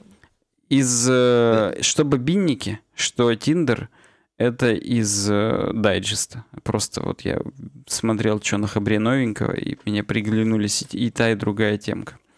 Продолжаю просто вас посвящать, так сказать, и тебя, Никита, и вас всех в то, откуда темы взялись, откуда что кухню. берется, да. В кухню Я, вижу, я просто скроллю и вижу, здесь чувствую про MongoDB будет. Вот Да, выглядит, как будто здесь документы какие-то. Ну базе- да, тут, тут э, данных. из запихи тиндеровская инфа. Короче, здесь э, статья написана языком такого рассказчика. Что типа, вот представьте, что есть у вас приятель Стив Стивинг- Стивингтон, вы основали целый стартап по отслеживанию, отслеживанию пользователей. Ну, бизнес основан на утечке метаданных WhatsApp, которую вы обнаружили. Вот. Ну и как бы, если говорит, вот представить, что вы не доверяете типа вашему соучредителю, скорее всего, говорит, э, вы под... Но под этой глянцевой сомнительной внешностью скрывается гниль. Вы подозреваете, что ваш хороший друг, соучредитель соисполнительный директор Стив Стивингтон строит козни против вас. Он все время выбегает из библиотеки в странное время, где-то пропадает часами напролет. Когда вы спрашиваете, куда он идет, он строит странную гримасу, которую, вероятно, считает злорадной ухмылкой и говорит «не беспокоиться». Ну, короче, здесь всякий бред, но если кратко, то нам автор рассказывает об эксплойтах, которые в Тиндере использовались э, по отношению к Тиндеру, чтобы тупо следить за людьми. Потому что что Мгм. делает Тиндер? Тиндер в опиху отсылает твое местоположение зашифрованное. Оттуда приходит, соответственно, ответ, э, ну, ближайшие люди к тебе. Так вот, ну, какая-то опять хрень летает страшная. Неважно. И, надеюсь, не сожрет меня, пока я подкаст записываю. Так вот, и ответ приходил в самом... Вообще здесь история. В 2013 году обнаружилось, что ответ приходил прямо в координатах. И, Ну, это э, палео. Это, это палево. Просто перехватываешь сетевой трафик Tinder, проверяешь данные, точное местоположение цели. Все, ты на ладони. После этого Tinder втихую попытался исправить уязвимость, приложив расчет... Раст... А, потому что почему это делалось? Потому что location, э, то есть э, близость к другим людям считалась на клиенте. Как бы, ну, Так. ну первая интер- ин- имплементация, почему бы и не накосячить, да? Они переложили это на, сервя, на сервак, из сервака приходило distance from you в километрах, но с точностью 15 знаков после запятой. Это довольно-таки, мать твою, точная точность. Представляешь, 15 знаков после запятой в километр. Это в- долях метра практически. Ну, Это круто, да. Вот. И можно было, говорит, с помощью... Это называется... Сейчас скажу, как это называется. Какой-то эксплойт трилатерации. В чем суть? Отправляешь три рандомных запроса. Типа, что там я Петя, я здесь, я Мгм. Коля, я там, я Миша, я здесь. И все это отправляешь, типа, что хочешь узнать, а где я нахожусь по отношению к Насте.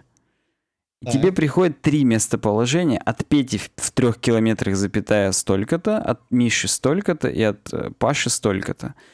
Рисуешь круги здесь на карте, на пересечении кругов находится Настя. Все, ты ее сталкернул. Типа с э, нескольких пересечений. Да, да, Получается. просто три пересечения берешь и, и все. Вот она там стопудово. С учетом того, какая точность передавалась. Блин, я не могу, там так орут на улице, просто цветос. Хочется прям выглянуть, но я не увижу ничего, только они меня увидят, потому что я как в Хочется аквариуме. присоединиться. скажем. Вот. Ну, короче говоря, они после этого тоже пофиксили и сделали, что округляется до целых километров.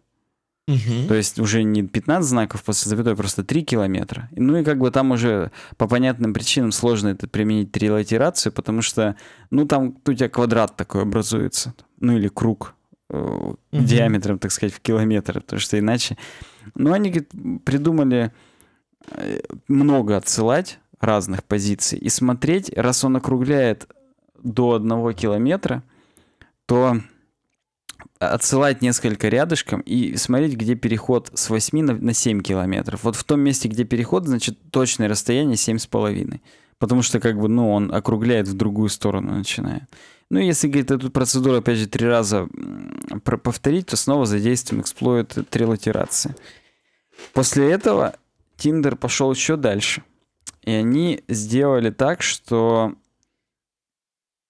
они разделяют все, всю карту, как в детских атласах, на квадраты. Мгм. И уже после этого максимум, что ты можешь определить, это квадрат. А квадрат, он, мать его, большой. Особенно в- учитывая густонаселенность, например, Сан-Франциско. Или Нью-Йорк. Да, или, не дай бог, Нью-Йорк-Сити. Уже все. Там как бы квадрат диаметром в километр. Там 50 сотен тысяч кафе и так далее. То есть, ну, здесь красивые картинки о том, что вообще-то это не было задокументировано. То есть все эти изменения Тиндер вносил на упалево. И этот чувак, он их все проходил ножками, понимал, Так. и как бы вот э, выяснить, что на квадраты было разделено, ему тоже дорогого стоило на самом-то деле. То есть вот здесь, где карти- красивая картинка с булавочками, это он как раз понял, что на квадраты все поделено. Короче говоря, это, говорит, теперь невозможно, к сожалению. И кроме того, что расстояние по формулам, по нормальным евклидовым, рассчитывается окружностями, то есть, грубо говоря, Мгм. есть цель, есть атакующий, и рисуются вокруг цели окружности, и, ну и на какой окружности находится атакующий, вот это кратчайшее расстояние будет тем расстоянием. Тиндер сделал, что расстояние высчитывается не из окружности, а из таких квадратов с закругленными углами. Это сделано для того, чтобы еще больше запутать атакующих. Ну, короче, они там прям похавали говна, видимо, с приватностью. Ну и говорит, э, оказывается, пока, типа, все, ты это делал, на следующее утро Стив Стивингтон дарит вам одну из пары кружек со-директоров, над которыми он работал на своих секретных дневных уроках керамики. Это совершенно отвратительно. Лучше бы он подарил вам одну из пары 10-долларовых купюр и остался в офисе. Он работал мало и плохо, вам пришлось проводить много встреч и много врать. Обычно это его работа. По крайней мере, он не украл вашу компанию. Вы переливаете кофе Уилсона в свою нелепую кружку, желаете здоровья своему хорошему другу. А когда засыпаете ночью, в голову лезут мысли, что происходит с координатной сеткой Тиндер на Северном полюсе. Красиво. Очень красиво. Это причем еще и перевод красивый. То есть это перевод, это не оригинал. Ну Вот, да, да. поэтому я бы, если бы мог, у меня, мне кажется, не хватит кармы, чтобы выставлять Ты бы здесь... 50 хлопочков бы дал. Да, то есть я бы прям в пупочек даже поцеловал автора. Очень круто. Не, недостаточно М. кармы у меня для голосования, к сожалению. Я лошара. Надо будет поработать над кармой. Кстати, в инвитро требуется специалист по защите информации. От 85 косарей до 115. Неплохо. Представляешь, неплохо. плохо защитить информацию в инвитро. Все же утечет. Ну, все, что вытекает, при- так причем, сказать, оно да, все утечет. причем в прямом смысле этого слова. Да. При- э, В качестве наказания надо анализы специалиста по защите информации сливать в первую очередь. Нет, знали, про- него много раз гомококи. проводить ему анализы мозга, так сказать. И Каждый это в день. том числе, да. После этого говоришь, ой, у вас устарели что-то, вдруг вы там что-нибудь макнули куда-нибудь опять. Пойдемте-ка пересдадим. Да. Короче говоря, вот такие дела с Тиндером. Ставьте лайки, если пользуетесь Тиндером и задаетесь вопросом, а как же он там что-то определяет.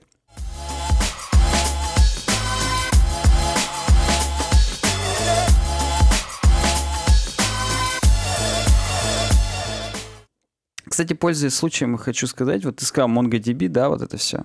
Мгм. А мне кажется, мы стали забывать о том, что MongoDB лучше всего работает на серверах SmartTape. Кстати, да. Кстати, да. На SmartTape. Заходим на evobdesign.ru slash smarttape и просто используем самый классный хостинг от UWebDesign. Вот серьезно. Прям вот мы вам рекомендуем. Вот прям Просто вот мы его сами не пожалеете. Чтобы вы понимали, вся наша работа, она там. То есть они нас держат за мошонку, а мы их. И вот А мы... полу- э, Да. И так получается, что никто никуда не дернется. Пока мы это делаем, покупайте у них хостинг. Вы, во-первых, нас поддержите как проект, а во-вторых, ощутите на себе все прелести абсолютно недорогого обслуживания. И если вы хотите экспериментировать с разными наркотиками, нет, не пропаганда, с разными пакетами, э, NPM и так далее, с разными серверами, то покупайте просто там VPS-ку на SSD-шках, и у вас молниеносно Мгм. все работает, все серваки в Москве, все очень быстро, далеко ходить не надо, все соответствует 152 ФЗ. В общем, одни плюсы. Я не понимаю, почему вы все еще не перешли на webdesign.ru slash smarttape, поэтому немедленно реабилитируйтесь, а мы пойдем дальше. Да. Следующая тема. как работает запрещенное онлайн-казино Азина 777 и с кем оно связано? К сожалению, не реклама. Да, я тоже хотел опять, Опять же же. сказать. Да. И здесь, ну, такое небольшое обобщение, расследование про вообще про Азина Три топора, то самое, которое приобрело популярность в России в 2017 году после рекламного ролика, как вы понимаете, как вы все помните, с участием рэпера Витя Ака, который отвечает на вопрос, а как поднять бабла? Ну, вы помните, все это. И оказывается, оказывается, я вот не знал, но онлайн-казино зарабатывает намного больше, чем, например, более честные люди, такие как э, Epic Games и Fortnite. Разработчики игры Fortnite. Потому что я посмотрел на бабки здесь, вот, которые указаны в статье, и мгм, так Так вот, онлайн-казино в России запрещено. Хотя, Я вам казалось бы, напоминаю тебя еще вот раз. деньгами удивить, это отдельное, так сказать, Да, испытание. песня, отдельная песня, согласен. Так вот, так вот, я напомню вам просто еще раз, что онлайн-казино в России запрещены, за их организацию грозит штраф до 1 миллиона рублей и лишение свободы на срок до 6 лет. То есть шестерочку мотаешь, еще и бабки платишь. Штраф за рекламу азартных игр в интернете, напомню, это не реклама все, э, составляет до 500 тысяч рублей. Мы не рекламируем, естественно, мы просто читаем статью. Э, В 2017 году Федеральная налоговая служба приняла более 42 тысяч решений о блокировке онлайн-казино и прочего-прочего. Но, тем не менее, живы, пацаны живы. Э, Все, это, все эти азины, как вы знаете, переезжают все на новые на новые адреса. Почему их каждый раз э, вставляют с новым адресом? Э, Что возникли проблемы с доступом туда-то, перейдите на туда-то. Ну, вы все знаете, да. Так вот, зеркала, миллионы зеркал открываются, естественно, потому что ну, денежки-то надо зарабатывать. Я просто Объем- не понимаю, да. кому это нахрен надо? Какого Тем не черта да, вообще? да, люди азартные играют абсолютно, хотят зарабатывать в казино. Объем российского рынка онлайн-казино может достигать 1 миллиарда евро или день, да, примерно сейчас скажи мне. 73 миллиардов рублей по курсу на июнь. Просто за месяц. Лям. Лярд, точнее. Лярд за июнь посчитали компания SoftSwiss, а, разрабатывающая программное обеспечение для азартных онлайн-игр. То есть сами себя подсчитали, нормальная тема. Мировой рынок онлайн-гемблинга э, по оценке исследовательской группы H2 Gambling Capital к июню составил 45 миллиардов. Мировой рынок 45 миллиардов. А, ну, евро, естественно. Не подумайте, не То рублей. есть од- одна сорок пятая это р- русский рынок. Да, одна 45 русский рынок. Э, Соответственно, Азино Групп, э, то самое, с кем вообще связано, в принципе, Азино. Э, Короче, кипрская компания Leondra LTD. В 2006 э, формулировку уточнили, Leondra LTD входит в Азино Групп, который управляет Victory 777 NV, видимо, это New Vegas NV, я не знаю. В 2017 году упоминали Leondra LTD исчезли из сайтов Азии. В общем, все какое-то идет расследование, кто с чем связан. Зарегистрировано на каких-то чуваков гражданин Украины Александр, Пла- Александр Плахтию. Плахтий, видимо.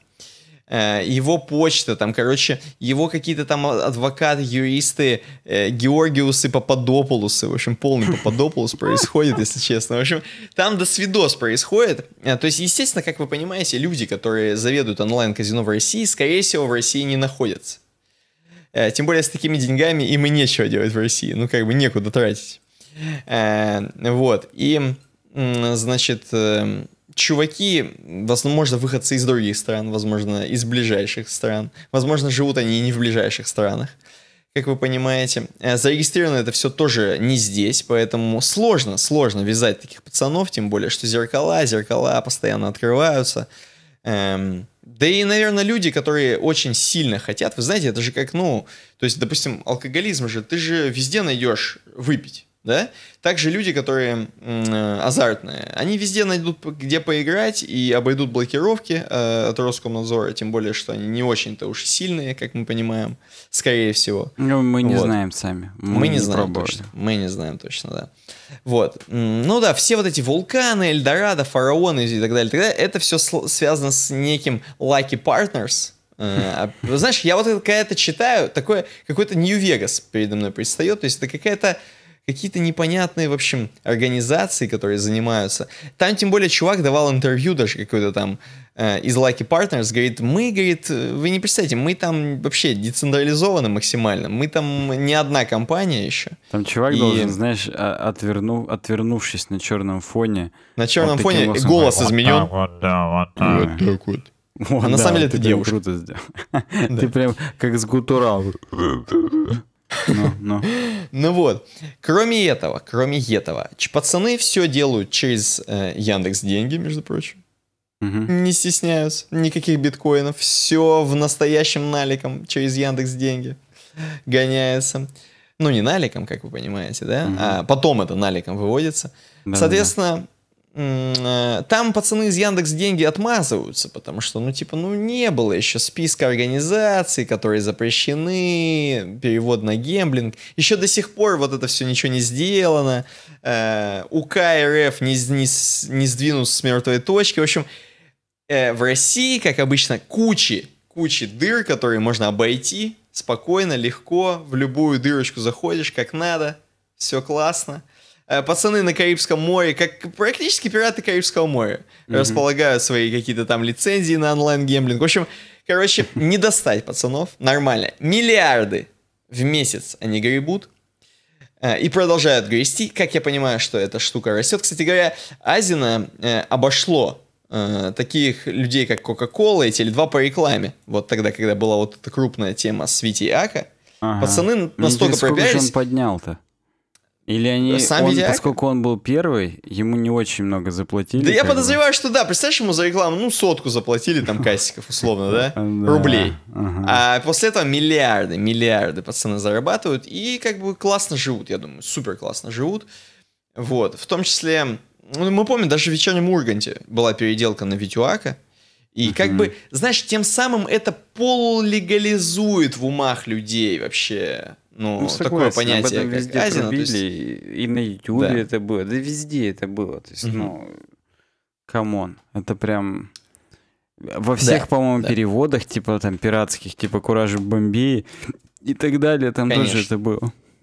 Конечно, везде вставляют, пацаны получают ба- огромное бабло. Во всех пиратских э, м, фильмах спокойно, оно все там вместе связано, как мы понимаем. Возможно, это одни и те же какие-то там учредители, и, в общем, в общем это все очень интересно. Все это очень интересно. Здесь, кстати, в конце приведено, ну, знаешь, так, невзначай, как будто непонятно для кого, сколько нужно на запуск онлайн-казино. Например, получение лицензии стоит 35-45 тысяч евро. Просто, Э, а работ- лицензии-то где, простите, если это Э, незаконно? Там, где дерьмо? разрешено, как я понимаю. то есть А, вот там, где там, разрешено, где ты в там... Кипре регаешь это, все, Да, я понял. Ага. Там все нормальная тема, абсолютно. Яндекс деньги тебе подтверждает, потому что ты не входишь никуда еще как бы. И все классно, у тебя просто реально тебе на карточку на Сбербанк падают миллиарды. Короче, нормально, ты их двигаешь на PayPal, он тебе замораживает сразу все, весь счет, нахрен тебя арестовывают. Вот, короче, э, 60, э, 60-300 тысяч евро на приобретение собственной лицензии. Это, видимо, э, ну, сублицензия. Я не знаю, в чем она зависит. То есть, это- напишите в комментариях. Я хочу, чтобы анонимусы вот эти, знаешь, всплыли, которые открыли онлайн-казино свои. Вот. Э, Создание бэк-офиса, организация контроля над транзакциями 50 тысяч евро, депозит для оборота, который вносится на счет лицензиата 5-25 тысяч евро. Короче, ну вот в пределах, знаешь, сотки открыть свое онлайн-казино запустить. И, ну, как бы, да. Как это бы еще не понимаете. считая, мне кажется, самого сайтецкого разработки самого приложения. То есть это, по-моему, формальности только... Ну, без дергания именно этой. ты а, без, ру- вообще без всего. То есть это без реализации. Это 100 тысяч евро на юридические формальности. Ну, да-да-да. На... Ну, это, видимо, как бы самое главное, что их волнует. А там уже то, что, короче, будет встроена флешка с эм, одноруким бандитом, который будет постоянно выдавать не те числа, это похуй. Согласен. Видимо, самое главное это эти 100 штук, так сказать, найти кому дать, а там уже разработают хоть кто и хоть что. Да, да.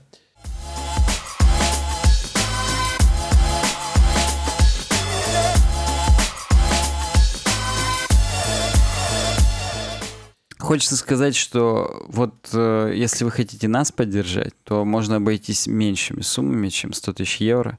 Просто переходите на patreon.com webdesign, получайте бесплатные стикеры за подписку, получайте наш подкаст на день раньше. И еще бог его весь, что мы придумаем. Я прям уже Мгм. чувствую, что что-то мы обязательно придумаем к сентябрю. Ну, Ты имеешь в виду сезон 100 начнется. тысяч... Когда 100 тысяч евро ты имеешь в виду? Да, да, в тот момент, конечно, да. Вот. Ну или на uwebdesign.ru slash donate можете более стандартными, более классическими способами на- нас поддержать. Спасибо вам большое заранее. Э, Последняя тема у нас сегодня про спидранеров. С- даже не столько про спидранеров, сколько про Fallout. Хотя и про спидранеров тоже. Вот автор или авторка Хидер Александра. Это, Мгм. судя по имени, дама. Судя по лику, мужик. Так. не относится никак к сути, просто автор на Катаку. Возможно, какой-нибудь главный автор. Staff writer and critic от Какой-то Котаку. крутой, да, чувак, да. Ну, я часто его вижу, на самом деле, когда открываю статьи.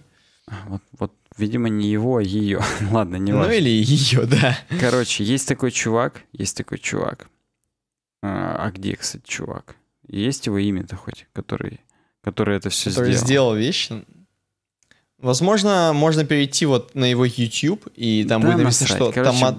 Ну Да, да, да. Я, я понимаю, что как-то чувака зовут, у него достаточно стандартная внешность, просто кудрявый чувак со стримом какой-то. У него смешной ник, у него томата анус. Да, это, блин, у меня случайно реклама YouTube начала сейчас забанить. Случайно Азия на три топора включилась. Да, Tomato Anus, и у него еще и авка на YouTube смешная, там пес в шапке, который такой американский Да, да, крутой да. пес.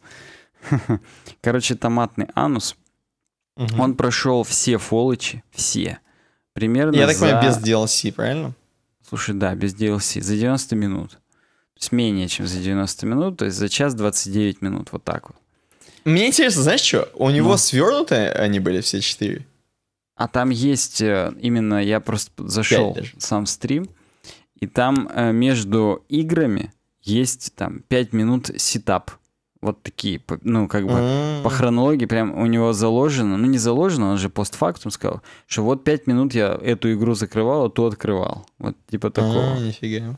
То есть, ну 5 прикольно. минут это долго, там 49 секунд на самом деле, но тем не менее. Твою него- мать, я сейчас по таймингу перемотал, он за 6.49 прошел первый фоллоч. Ну, первый фоллоч действительно очень легко проходится, За если именно 6 спидранить. минут 40. Охренеть. Ну Да. ладно, окей. То есть это, ну, это действительно несложно. И вот ты мне говорил, о, прикольно, поностальгируем. О чем именно? Мгм. Ну, то есть, давай, я посмотрел. Первый фоллоч я знал, как спидранить. Второй Мгм. фоллоч, в общем, я знал эти методы, которые он там использовал. Что в первом? В первом надо добежать до военной базы. Там Мгм. нет такого, что ты туда пришел и сразу на тебя поперлись. Там с тобой Так. базарят, тебя ведут к лейтенанту. Если ты Мгм. говоришь, нет, я не пойду, то тебя, на тебя прутся. А если ты идешь, тебя телепортируют сразу на самый верхний этаж, и к тебе начинает подходить лейтенант. Если Так, ты убегаешь, не начинаешь с ним разговор, на тебя никто не нападает, ты можешь просто побежать, э, взломать компьютер, активировать Ну а как бомбу. ты взломаешь его, если у тебя ничего не прокачано, условно? Там? Если ты в самом начале при создании персонажа все вкидываешь в науку, тебе будет достаточно. А, ни хрена. То есть он, он же, ну, как бы использует, так сказать, ну, не гличи. Вот это это, а- что-то... Так, ну это прикольно. Ну типа, это даже ничего вообще. Вот. Ну, После окей. этого он бежит в собор. Это под Лос-Анджелесом, так сказать, л- location, где сам, где еще одно убежище, где сам повелитель сидит, мастер. Ну, то есть он в конец уже бежит сразу. Да, он сразу бежит в конец. Там тоже сначала ты говоришь, тебя отводят к чуваку. С чуваком слушай, можно- подожди, он лайкер, получается. Ему не попадается да, такое, что, да, знаешь, по ему пути, не попадается по пути. по пути да. вас убили нахрен. Да, Козлы да. 100, 100 рук смерти нас. Вот. Во втором фоллоче попадаются, и там он перезагружается. Но он это молниеносно делает, поэтому как бы он сильно много на это времени не тратит. Он делает quick save, quick load просто и все. В первом фоллоче ему действительно повезло. То есть там, да там как бы, ну, может быть, он опять же все в лак вкинул. То есть там Мгм. же тоже это зависит от определенных факторов. А когда он создавал персонажа, я уж сильно не смотрел, что он там создавал. Ну, правда. Ну, кстати, Мгм. опять же, когда ты военную базу взрываешь, Марипозу, первое, что надо сделать в первом фоллоче для победы, а, ты 5 левелов получаешь. Он за эти 5 левелов реально вкачивал там себе науку, взлом и так далее, чтобы уже в соборе уже реально а, бомбу тоже взвести там и так далее и тому подобное. Плюс он использует баг, когда с тобой начинают разговор, ты делаешь quick save, quick load, с тобой прекращают говорить, и ты идешь, как ни в чем не бывало, на тебя никто не нападает. То есть, как бы, ну, он, он все равно использует баги, к сожалению. Ну, или там, ну, не к сожалению, ну, неважно.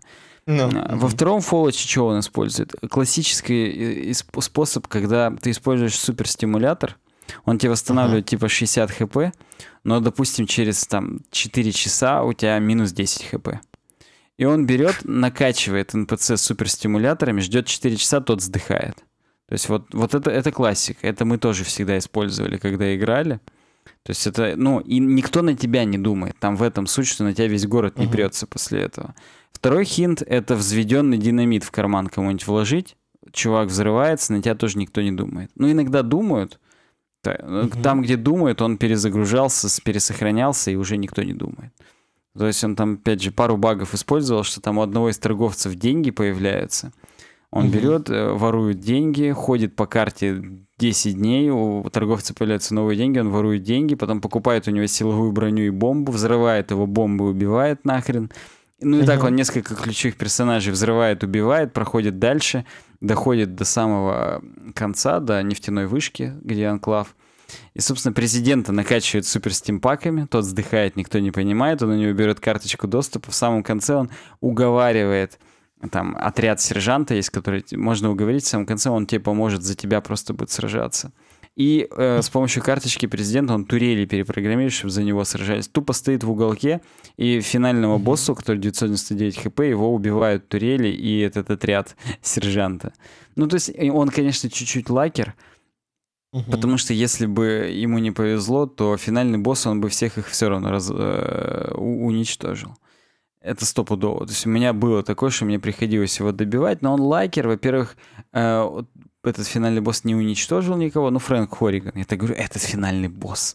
Вот. Но это э, Фрэнк Хорриган, да, это один из экспериментальных чуваков, которых сделали, типа, как э, супер-сверхлюдей и так далее. Так вот, э, ну и кроме всего прочего, у него, ему повезло, и кто-то из этих чуваков, сержантовских, он э, Хорригана опрокинул. Но тот именно упал, типа без угу. сознания. Ну и он просто выбежал, все взорвалось нахрен и все. То есть как бы даже, даже его не добил. Вот. Это что касается первого, второго фоллоча, с ними все, в общем-то, прозрачно довольно-таки. Ну, действительно, там есть пара багов и есть пара, ну, гличей просто и все. Угу. А непосредственно третий фоллоч Нью-Вегас и четвертый он использовал дерьмовые баги. Дольше всего четвертый фоллоч шел. Четвертый фоллоч шел Я 42 вижу, да. минуты. То есть, как бы там... Там что-то, видимо, в натуре много дерьма. Ну, там много физически надо ходить. Пока ты угу. еще не можешь делать быстрое путешествие до каких-то объектов, пока ты там не был. Тебе надо реально физически до туда дойти. Хотя он все равно mm использует гличи, которые вот в этих 3D-шных фолочах есть, что если ты ломаешь обе ноги, опять же, быстро сохраняешься, загружаешься, типа того, ты двигаешься не медленнее, а наоборот быстрее. Это смешно. Вот, да. Особенно с учетом того, что если сейф-лот делать, то ты как-то там быстро двигаешься. Ну, короче, это надо смотреть. Это просто... Это даже смешно выглядит. Вот. Но, конечно, да, я к вопросу ностальгии. Первый и второй фоллоч это, конечно, гениально. Я очень хотел бы их когда-нибудь стримануть и пройти. Причем э, на них же, естественно, уже, по крайней мере, на второй. На второй фоллоч есть э, аддон, который называется типа там Complete Edition, которые mm-hmm. типа читали дневники Авилона, читали Джоша Сойера, читали Библию Фуллаута, которую Авилон написал, и что они еще задумывали. И там чуваки реализовали все, что разработчики тоже задумывали по лору. И это mm-hmm. как бы именно тот фоллоч, который вот был бы, если бы там э, никогда э, никакие издатели там не, не заставляли их быстрее и быстрее и так далее и тому подобное. То есть это вот прям, это действительно круто. Также, кстати, с готикой. Есть на, на первую готику есть Golden Mod, в котором возвращается все, что разработчики как бы сделали, какие локации, но не наполнили квестами. Но там вполне очевидно, какие там квесты, поэтому, ну там, доработали, короче. Может быть, кто-то из пираний тоже писал какие-то посты, что тут мы хотели это, там мы хотели то. Ну mm-hmm. так вот, а третий фолоч, я в очередной раз вспомню, что блевотина редкостная. Фолоч на восточном побережье это, ну, come on, это говнище. Погоди, а Нью-Вегас, Нью-Вегас как он прошел? Не знаю. Вот именно Нью-Вегас я не скрольнул. Давай попробуем как-нибудь посмотреть. Там, наверное, ну там, в принципе, тоже должно быть не сильно э, сложно. Но хотя он проходил 17 минут. Ну, типа... Ну, вот я смотрю Нью-Вегас. Он говорит с доктором, потом сразу бежит в Лаки 48 в казино Хаоса. Сразу, 38. Сразу в казино. Да, да, сразу практически. После этого сразу бежит к этому, к Виктору, или как там, Yes Man, который робот-то вот этот вот. No, Вот. Ну и сразу почти там выполняет пару квестов.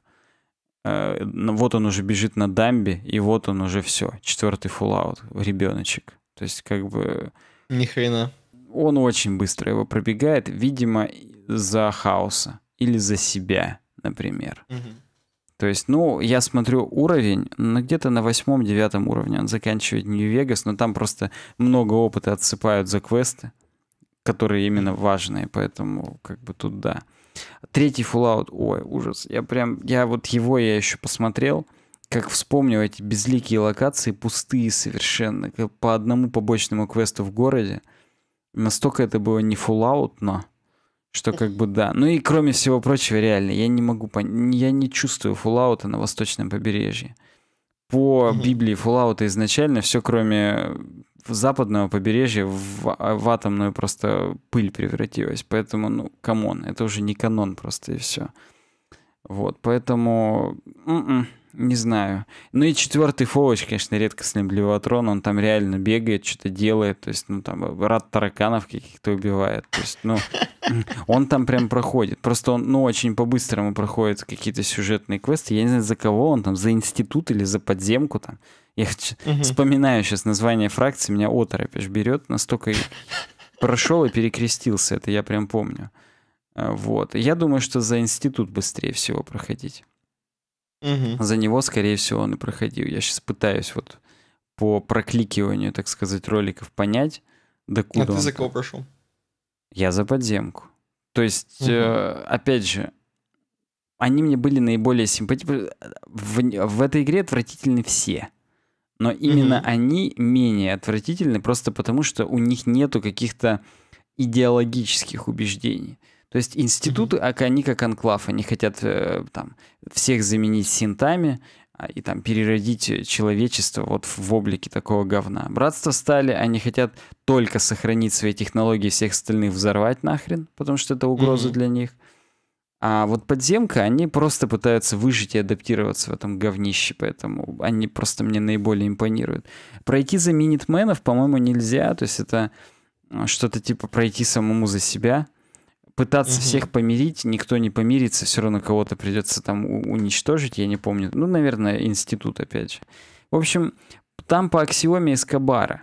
Все такие плохие, что я сношался с, с их матушкой, потому что, ну, реально. Я... Сношался с беседой ее. Стопудово. Просто я сейчас, кстати, вот тебе четыре фракции перечислил. Я вспомнил Ксенус, что там тоже несколько фракций есть. Э, наркоторговцы, там официалы, э, партизаны и не помню, кто четвертый. Ну, там есть побочные, типа индейцы и всякие эти, но за них пройти нельзя. По-моему, наркоторговцы, партизаны и официалы, ну, то есть военные. И вот Ксенус и то в миллиард раз приятнее, чем четвертый Fallout. Ну, не знаю, я, я ничего не могу с собой поделать. То есть вот ты-то что, ты в него играл в итоге или нет? Я не помню. Я я не играл в четвертый Fallout. Вообще. Я просто помню, что Нью-Вегас-то ты проходил, причем чуть ли ты да. его не первый прошел. Ну, я давно его прошел. Просто суть в том, что, короче, мне казалось, что Fallout 4 невозможно пройти так быстро, потому что надо строить дерьмо. Нет, строить дерьмо, на самом деле, это очень опционально. Это первый раз надо построить просто по сюжету, а дальше уже можно никогда этим не заниматься. То есть это, это настолько как в Вовке все игрушки найти или всех спутников и маунтов. Ты можешь вообще это не делать абсолютно. Просто и... так тупо строить э, хрень, которую никто никогда не увидит, кроме тебя. Ну... То есть, ну, типа, я понимаю, что Fallout 76 теперь все увидят, Да, да, там все все увидят. Кто что строит, там нападать вот. будут на это дерьмо, это да. да. А тут... Ну, это какой-то сомнительный эксгибиционизм, так сказать. Ну, слушай, может быть, кто-то... Ну вот я слышал, опять же, слышал, что детичи им прям нравилось. То есть вот те люди, которые в Майник играли, они а, альтабались в фолочи всякое строили. Я не знаю, как они там ролики снимали, показывали, там стримили друг другу, чтобы похвастаться, кто там что построил и так далее.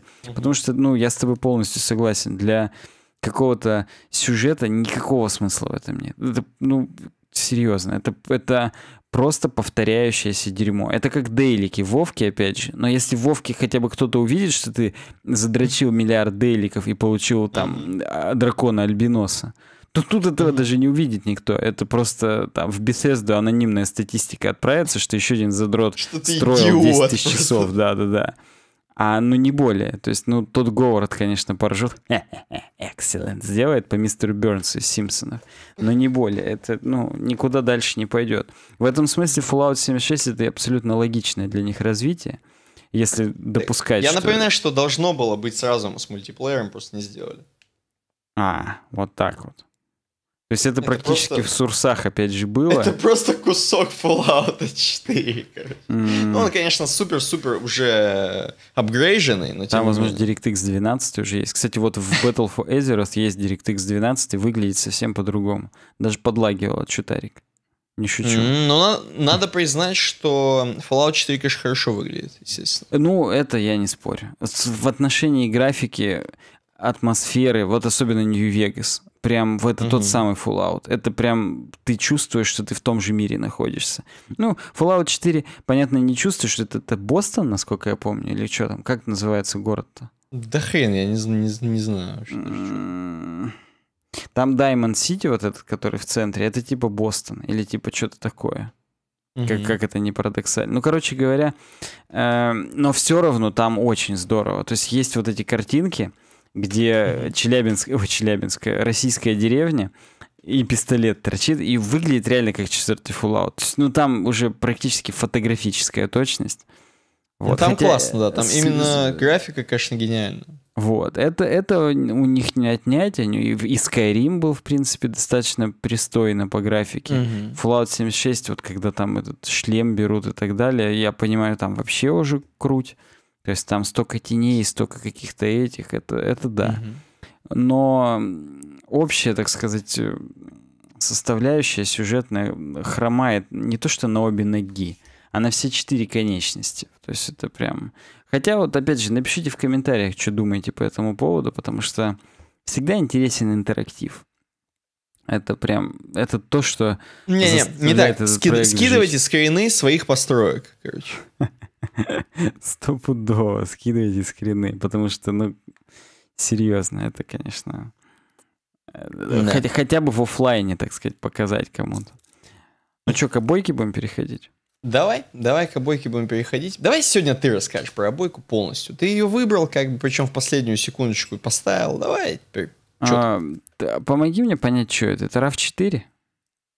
погоди, я зайду сначала в Slack, что у меня это. А, так, так вот. На обойке обойка. мы видим двоих молодых людей, хотя дво- вообще не молодых на самом деле. Это мы, Немного полноватых уже. Да, немного это вот полноватых. нас жизнь потрепала. Ну вот. да, здесь какой-то джип типа RAV- RAV4, что-то такое. Вот, и мы на RAV4 с тобой приехали, причем это европейка, судя по номерному знаку, то есть там синенькая, это, это прям Европа. И мы с Мгм. тобой приехали, смотри, горит трава какая-то, и это вот Так. э, наш подкаст. Мы, мы Думаешь, при- может быть, это чей-то пукан, мы смотрим, такие, приехали и к ржем. солнцу он приблизился. Потом. Это пукан того чувака, который сегодня нам перед подкастом написал, что я отписываюсь, потому что слишком много капрофилии, говна, дерьма. И вообще, если, говорит, ведущим это нравится, то типа счастливо оставаться и так далее. Вот, Вот это мы.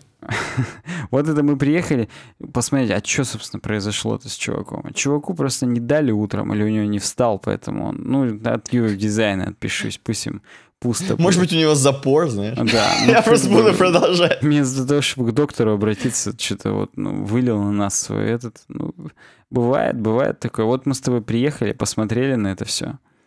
И пое- поедем дальше теперь. Возможно, мы закопаем там этого человека дальше.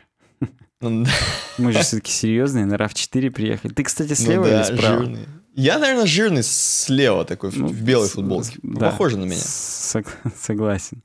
Как, как никто на тебя похож, прям этот чувак. Вот ты и этот чувак, это 99 идей. Ну, Find Face. это мой сказал, брат. это. Да, одно, одно и то же. Мне вот только интересно, вот в этом контейнере, который сверху на багажнике, там что у нас? Мгм. Я каждый раз задаюсь тоже вопросом, люди возят. Мы, возможно, с тобой там привезли лопаты, чтобы закапывать. Просто мне всегда кажется, это именно брендированный для какого-нибудь сноуборда, или это просто вот на- наверх вот эти штуки, они так выглядят, потому что они там аэродинамичные, и там машина с ними быстро едет или что-то еще. Они, возможно, брендированы Тойотой. А, то есть ты думаешь, это именно с машин? Ну, тоже может быть, да, да, может быть как-то так. В общем, вот, вот такие ассоциации у нас в этот раз вызвала обойка. Мгм. Призываю вас всех подписываться на нас в соцсетях в разных. Не буду их все перечислять. На YouTube тоже все нужные ритуалы делайте. Там, ставьте пальцы вверх, колокольчики жмите, комментарии пишите. В iTunes звездочки нам ставьте, отзывы пишите.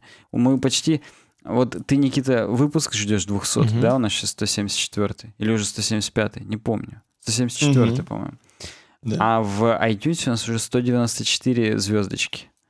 То есть 94 200 звездочек жду еще. Да я тоже, вот это уже я жду. Я жду двухсотых звездочек, потому что на самом деле у большинства наших конкурентов нет столько рейтингов. То есть мы выклинчили их так много, что мы к радио Ти и к Вилсакому скоро приблизимся. И мне кажется, больше даже и нет ни у кого. Них богам, да. Да, да, к богам. Поэтому спасибо, спасибо всем, кто нас поддерживает, кто нас слушает. Э, Я так понимаю, мы с тобой, Никита, увидимся недели через три или когда Да, я думаю, что у нас будет такой клиффхенгер. Ну, такой очень детский клиффхенгер, я бы сказал. Детский или дерзкий? Я не услышал. Д- детский, детский. А, почему детский? Потому что ничего интересного мы, в общем-то, ни, ни за- заводочек никаких не оставили. Ну да, да. Я к тому, что, м, короче говоря, типа, ну, что такое три недели, согласись? Да Ну, в условиях лета. Как, как комар, быстро пролетят просто, и никто даже не заметит. Это, это я полностью согласен, что это как бы, ну, не беда. Ну, три недели и Мгм. три недели. Это, это, это нормально. Тем более, я ответственно заявляю, что я личный свой подкаст запишу хотя бы один за это время. Мгм. Поэтому сильно не заскучайте. Ну, он, естественно, будет на этом канале выложен. Ну да, да, может быть, в какой-то момент я перестану его- их вылаживать на этом канале. Но пока что только положительно это было встречено. То есть, ну, опять же, какой-то один мудила написал, что ой, ну что это делает на этом канале, там туда-сюда, Ага. вот. А, Ну, как говорится, тебя это ебать не должно. Вот, вот как бы да, им- им- именно в таком аспекте. Короче говоря, всем спасибо, увидимся когда-нибудь. Подписывайтесь, любите нас, поддерживайте. Все ссылки, все, все в описании вообще. С вами был Тормознутый. И картавый. Увидимся, пока.